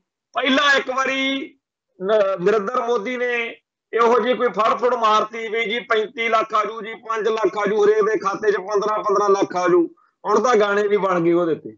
ਤੇ ਜਦੋਂ 15 ਲੱਖ ਦਾ ਬਾਰ-ਬਾਰ ਹਵਾਲਾ ਉੱਠਿਆ, ਫੇਰ ਉਹ ਬਿਠਾਤਾ ਅਮਿਤ ਸ਼ਾਹ। ਉਹ ਕਹਿੰਦਾ, ਜੇ ਤੂੰ ਇੱਕ ਜੁਮਲਾ ਹੈ, ਇਹੋ ਜਿਹੇ ਜੁਮਲੇ ਤਾਂ ਸਿਆਸੀ ਤੌਰ ਤੇ ਬੜੇ ਬੋਲੇ ਵਾਲੇ ਜਾਂਦੇ ਆ। ਐਵੇਂ ਨਾ ਆਸ ਰੱਖੋ ਕਿ ਤੁਹਾਡੇ ਖਾਤੇ 'ਚ ਕੋਈ 15 ਲੱਖ ਹੋਣਗੇ ਜਾਂ ਚੰਗੇ ਦਿਨ ਆਉਣਗੇ ਤਾਂ ਵੈਸੇ ਅਸੀਂ ਗੱਲ ਕੀਤੀ ਸੀ। ਐਵੇਂ ਦੀ ਵੀ ਗੱਲ ਪਿੱਛੇ ਜੇ ਇੱਕ ਬੀਬਾ ਅਨਮੋਲ ਗਗਨਮਾਨ, ਜਿਹੜੀ ਕਿ ਆਮ ਆਦਮੀ ਪਾਰਟੀ ਦੀ ਲੀਡਰ ਆ, ਉਹਨੇ ਬੜੀ ਚੁਟਕੀ ਜੀ ਮਾਰੀ, ਬਈ ਐਮਐਸਪੀ ਤਾਂ ਸਾਰੀਆਂ ਫਸਲਾਂ ਤੇ ਚੁਟਕੀ ਨਾਲ ਜਦੋਂ ਸਾਡੀ ਸਰਕਾਰ ਬਣ ਗਈ, ਇੰਨੇ ਮਿੰਟ ਚ ਤੁਹਾਨੂੰ ਦੇ ਦੇਵਾਂਗੇ ਹੁਣ ਜਦੋਂ ਸਾਲ, ਡੇਢ ਸਾਲ ਲੰਘ ਗਿਆ, ਥਾਂ ਥਾਂ ਦੇ ਉੱਤੇ ਲੋਕਾਂ ਨੇ ਉਹਨੂੰ ਇਸ ਗੱਲ ਦੇ ਲਈ ਪੁੱਛਿਆ, ਘੇਰਿਆ, ਹੁਣ ਕਹਿੰਦੀ ਉਹ ਤਾਂ ਵੈਸੇ ਮੈਂ ਸਿਆਸੀ ਤੌਰ ਤੇ ਕਹਿ ਬੈਠੀ, ਮੈਨੂੰ ਸਮਝ ਨਹੀਂ ਸੀ ਵੀ ਇਹ ਬੜਾ ਔਖਾ ਕੰਮ। ਸੋ ਸਿਆਸੀ ਲੋਕਾਂ ਲਈ ਆਪਦੀ ਗੱਲ ਤੋਂ ਮੁਕਰਨਾ ਕੋਈ ਬਹੁਤੀ ਵੱਡੀ ਜਾਂ ਔਖੀ ਜਾਂ ਸ਼ਰਮ ਵਾਲੀ ਗੱਲ ਨਹੀਂ। ਐਵੇਂ ਲੋਕ ਇਹਨਾਂ ਦੇ ਮਗਰ ਲੱਗ ਕੇ ਆਪਦਾ ਜਿਹੜਾ ਬਾਂਦਰ ਲੜਾ ਕਰਾਉਂਦੇ ਫਿਰਦੇ ਉਹ ਜਿਵੇਂ ਅੱਜ ਇਹ ਅਕਾਲੀ ਨਹੀਂ, ਇਹ ਕਾਂਗਰਸੀ ਨਹੀਂ, ਇਹ ਜੀ ਆਪਸ ਵਿੱਚ ਜੱਫੀ ਪਾ ਕੇ ਖੜ ਗਏ ਸਿੱਧੂ ਤੇ ਮਜੀਠੀਆ। ਭਵਿੱਖ ਵਿੱਚ ਹੋਰ ਵੀ ਪਤਾ ਨਹੀਂ ਕਿਹਦੀਆਂ ਕਿਹਦੀਆਂ ਜੱਫੀਆਂ ਪੈਣਗੀਆਂ। ਹਾਲਾਂਕਿ ਜੇ ਕੋਈ ਦੋ ਸਿਰ ਜੁੜਦੇ ਹੋਣ, ਪਿਆਰ ਵੱਧਦਾ ਹੋਵੇ ਤਾਂ ਲੋਕਾਂ ਨੂੰ ਖੁਸ਼ੀ ਹੁੰਦੀ ਆ, ਪਰ ਪੰਜਾਬ ਦੇ ਵਿੱਚ ਜਿਨੇ ਵੀ ਇਹ ਖਬਰ ਸੁਣੀ ਜਾਂ ਜਿਹਨੇ ਵੀ ਇਹ ਫੋਟੋ ਦੇਖੀ, ਉਹਨੇ ਮਾੜਾ ਹੀ ਬੋਲਿਆ ਵੀ ਦੁਰਫਟੇ ਮੂੰਹ ਤੁਹਾਡੇ, ਤੁਸੀਂ ਇੱਕ ਦੂਜੇ ਦੇ ਸਿਰ 'ਚ ਸਵਾਹ ਪਾਉਂਦੇ ਫਿਰਦੇ ਸੀ ਤੇ ਕੁੱਕੜ ਕੇ ਅੜਾਈ ਤੇ ਆਪਣੇ ਸਿਰ ਵਿੱਚ ਪਾਈ ਤੇ ਦੋਨਾਂ ਨੇ ਇਹ ਕੰਮ ਕਰਕੇ ਦਿਖਾਤਾ ਖੈਰ, ਇਹ ਗੱਲ ਦੇ ਨਾਲ ਹੀ ਇਹ ਗੱਲ ਹੈ ਕਿ ਆ ਜਿਹੜੇ ਸਿਆਸੀ ਪ੍ਰਵਾਨ ਇੱਕ ਦੂਜੇ ਦੇ ਨਾਲ ਲੀੜੇ ਪਾੜਦੇ ਆ, ਇਹਨਾਂ ਹੀ ਅਖਬਾਰਾਂ ਦੇ ਵਿੱਚ ਅਜੀਤ ਵਰਗਿਆਂ 'ਚ ਇੱਕ ਦੂਜੇ ਦੇ ਖਿਲਾਫ ਠਾਹ ਠਾਹ ਬਿਆਨ ਦਾਗਦੇ ਹੁੰਦੇ ਆ। ਅੱਜ ਉੱਥੇ ਇਕੱਠੇ ਹੋ ਕੇ ਬਹਿ ਗਏ। ਮੰਨ ਲੈਨੇ ਆ ਕਿ ਭਗਵੰਤ ਮਾਨ ਦੀ ਸਰਕਾਰ ਆ ਜਿਹੜੀ, ਬਲਤੇਜ ਪੰਨੂ, ਜਗਿੰਦਰ ਸਿੰਘ ਦਾ ਨਾਮ ਤੇ ਇਹ ਕਈ ਹੋਰਾਂ ਦੇ ਨਾਮ ਲੈ ਕੇ ਦੁਨੀਆ ਗੱਲਾਂ ਕਰਦੀ ਆ ਵੀ ਇਹਨਾਂ ਨੇ ਰਲ ਮਿਲ ਕੇ ਜੀ ਇਹਦਾ ਅਜੀਤ ਅਖਬਾਰ ਦਾ ਮੱਦੂ ਬਣਾਉਣਾ ਸ਼ੁਰੂ ਕੀਤਾ ਹੋਇਆ। ਮੰਨ ਲੈਨੇ ਆ ਵੀ ਬੜਾ ਮਾੜਾ ਹੋ ਰਿਹਾ। ਪਰ ਜੇਕਰ ਅੱਜ ਇਹ ਪੰਜਾਬ ਦੇ ਸਾਰੇ ਸਿਆਸੀ ਭਲਵਾਨ ਇੱਥੇ ਇਕੱਠੇ ਹੋਏ ਨੇ ਤੇ ਲੋਕਾਂ ਨੇ ਸੋਸ਼ਲ ਮੀਡੀਆ ਤੇ ਇਹਨਾਂ ਦੀ ਟ੍ਰੋਲਿੰਗ ਕੀਤੀ, ਇਹਨਾਂ ਦਾ ਵਿਰੋਧ ਕੀਤਾ ਕਿ ਭਾਈ ਤੁਸੀਂ ਕਦੇ ਕੌਮ ਦੇ, ਪੰਥ ਦੇ, ਪੰਜਾਬ ਦੇ ਹੱਕਾਂ ਲਈ ਇਕੱਠੇ ਹੋਏ ਹੋ। ਤੇ ਇਹਦੇ ਤੋਂ ਅੱਗੇ ਨੂੰ ਹੀ ਅਕਲ ਕਰ ਲੈਣ। ਪਰ ਇਹਨਾਂ ਦੇ ਸਮਰਥਕਾਂ ਵਿੱਚੋਂ ਜਾਂ ਇਹਨਾਂ ਵਿੱਚੋਂ ਕਿਸੇ ਦੀ ਹੈਗੀ ਜੁਰਤ, ਇੰਨੀ ਗੱਲ ਦਾ ਵਾਅਦਾ ਕਰਨ ਦੀ ਕਿ ਪੰਜਾਬ ਦੇ ਲੋਕੋ ਠੀਕ ਆ, ਸਾਤੋਂ ਬੀਤੇ ਦੌਰ ਵਿੱਚ ਕਰਤੂਤਾਂ ਹੋ ਗਈਆਂ। ਪਰ ਭਵਿੱਖ ਵਿੱਚ ਜਦੋਂ ਵੀ ਪੰਜਾਬ ਦੇ ਹੱਕਾਂ ਦੀ ਲੋੜ ਪਈ ਅਸੀਂ ਡਟ ਕੇ ਨਾਲ ਖੜਾਂਗੇ। ਆਮ ਆਦਮੀ ਪਾਰਟੀ ਹੈ ਜਿਹੜੀ, ਇਹ ਹਜੇ ਕੱਲ ਹੋਂਦ ਵਿੱਚ ਆਈ ਹੈ, ਇਹਦਾ ਕੋਈ ਬਹੁਤਾ ਲੰਬਾ ਚੌੜਾ ਝੰਜਟ ਨਹੀਂ। ਤੇ ਇਹ ਪਾਰਟੀ ਦਾ ਛੱਡ ਕੇ ਬਾਕੀ ਸਾਰੇ ਕੱਲ ਇਕੱਠੇ ਹੋਏ ਹੋ ਨਾ ਇੱਥੋਂ ਤੱਕ ਕਿ ਬੀਜੇਪੀ ਸੀ, ਤੇ ਫਿਰ ਇੱਕ ਮੀਟਿੰਗ ਸਰਦਾਰ ਬਰਜਿੰਦਰ ਸਿੰਘ ਹਮਦਰਦ ਦੁਬਾਰਾ ਰਖਾ ਲੈਣ। ਆ ਜਿਹੜਾ ਇਹਨਾਂ ਦਾ ਝੱਜੂ ਇਹ ਤਾਂ ਨਿਬੜਿਆ ਜਾਣਾ ਕਦੇ ਨਾ ਕਦੇ। ਇੱਕ ਮੀਟਿੰਗ ਵੱਖਰੀ ਸੱਦ ਲੈਣ, ਚੰਡੀਗੜ੍ਹ ਸੱਦ ਲਓ, ਅੰਮ੍ਰਿਤਸਰ ਸੱਦ ਲਓ। ਸਾਰੇ ਸਿਆਸੀ ਪਹਿਲਵਾਨਾਂ ਨੂੰ ਸੱਦ ਕੇ ਬਰਜਿੰਦਰ ਸਿੰਘ ਹਮਦਰਦ ਇਸ ਮਸਲੇ ਤੇ ਕਿ ਭਾਈ ਪੰਜਾਬ ਨੂੰ ਬੰਜਰ ਬਣਾਇਆ ਜਾ ਰਿਹਾ। ਪੰਜਾਬ ਦੇ ਪਾਣੀ ਲੁੱਟੇ ਜਾ ਰਹੇ ਨੇ। ਬੀਜੇਪੀ ਵਾਲਿਓ, ਦੱਸੋ ਤੁਸੀਂ ਪੰਜਾਬ ਦੇ ਨਾਲ ਹੋ ਕਿ ਹਰਿਆਣੇ ਨਾਲ ਹੋ ਕਿ ਕੇਂਦਰ ਨਾਲ? ਹੈਗੀ ਜ਼ਰੂਰਤ ਇੰਨੀ? ਨਹੀਂ। ਅਸਲ ਵਿੱਚ ਇਹ ਸਾਰੇ ਦੇ ਸਾਰੇ ਲੋਕ ਜਿਹੜੇ ਨੇ, ਇਹ ਜ਼ਰੂਰਤਾਂ ਨਾਲ ਵੱਜੇ ਹੋਏ ਨੇ। ਪਿਛਲੇ 5 ਦਿਨ ਤੋਂ ਲਗਾਤਾਰ ਕੰਮ ਚੱਲ ਰਿਹਾ ਵੀ ਅਜੀਤ ਅਖਬਾਰ ਤੇ ਧੱਕਾ ਹੋ ਗਿਆ। ਹਰੇਕ ਛੋਟੇ ਵੱਡੇ ਆਗੂ ਦਾ ਬਿਆਨ ਛਪ ਰਿਹਾ। ਚੰਗੀ ਗੱਲ ਆ ਭਾਈ, ਉਹ ਬਹੁਤ ਅਹਿਮ ਹੋਣਾ।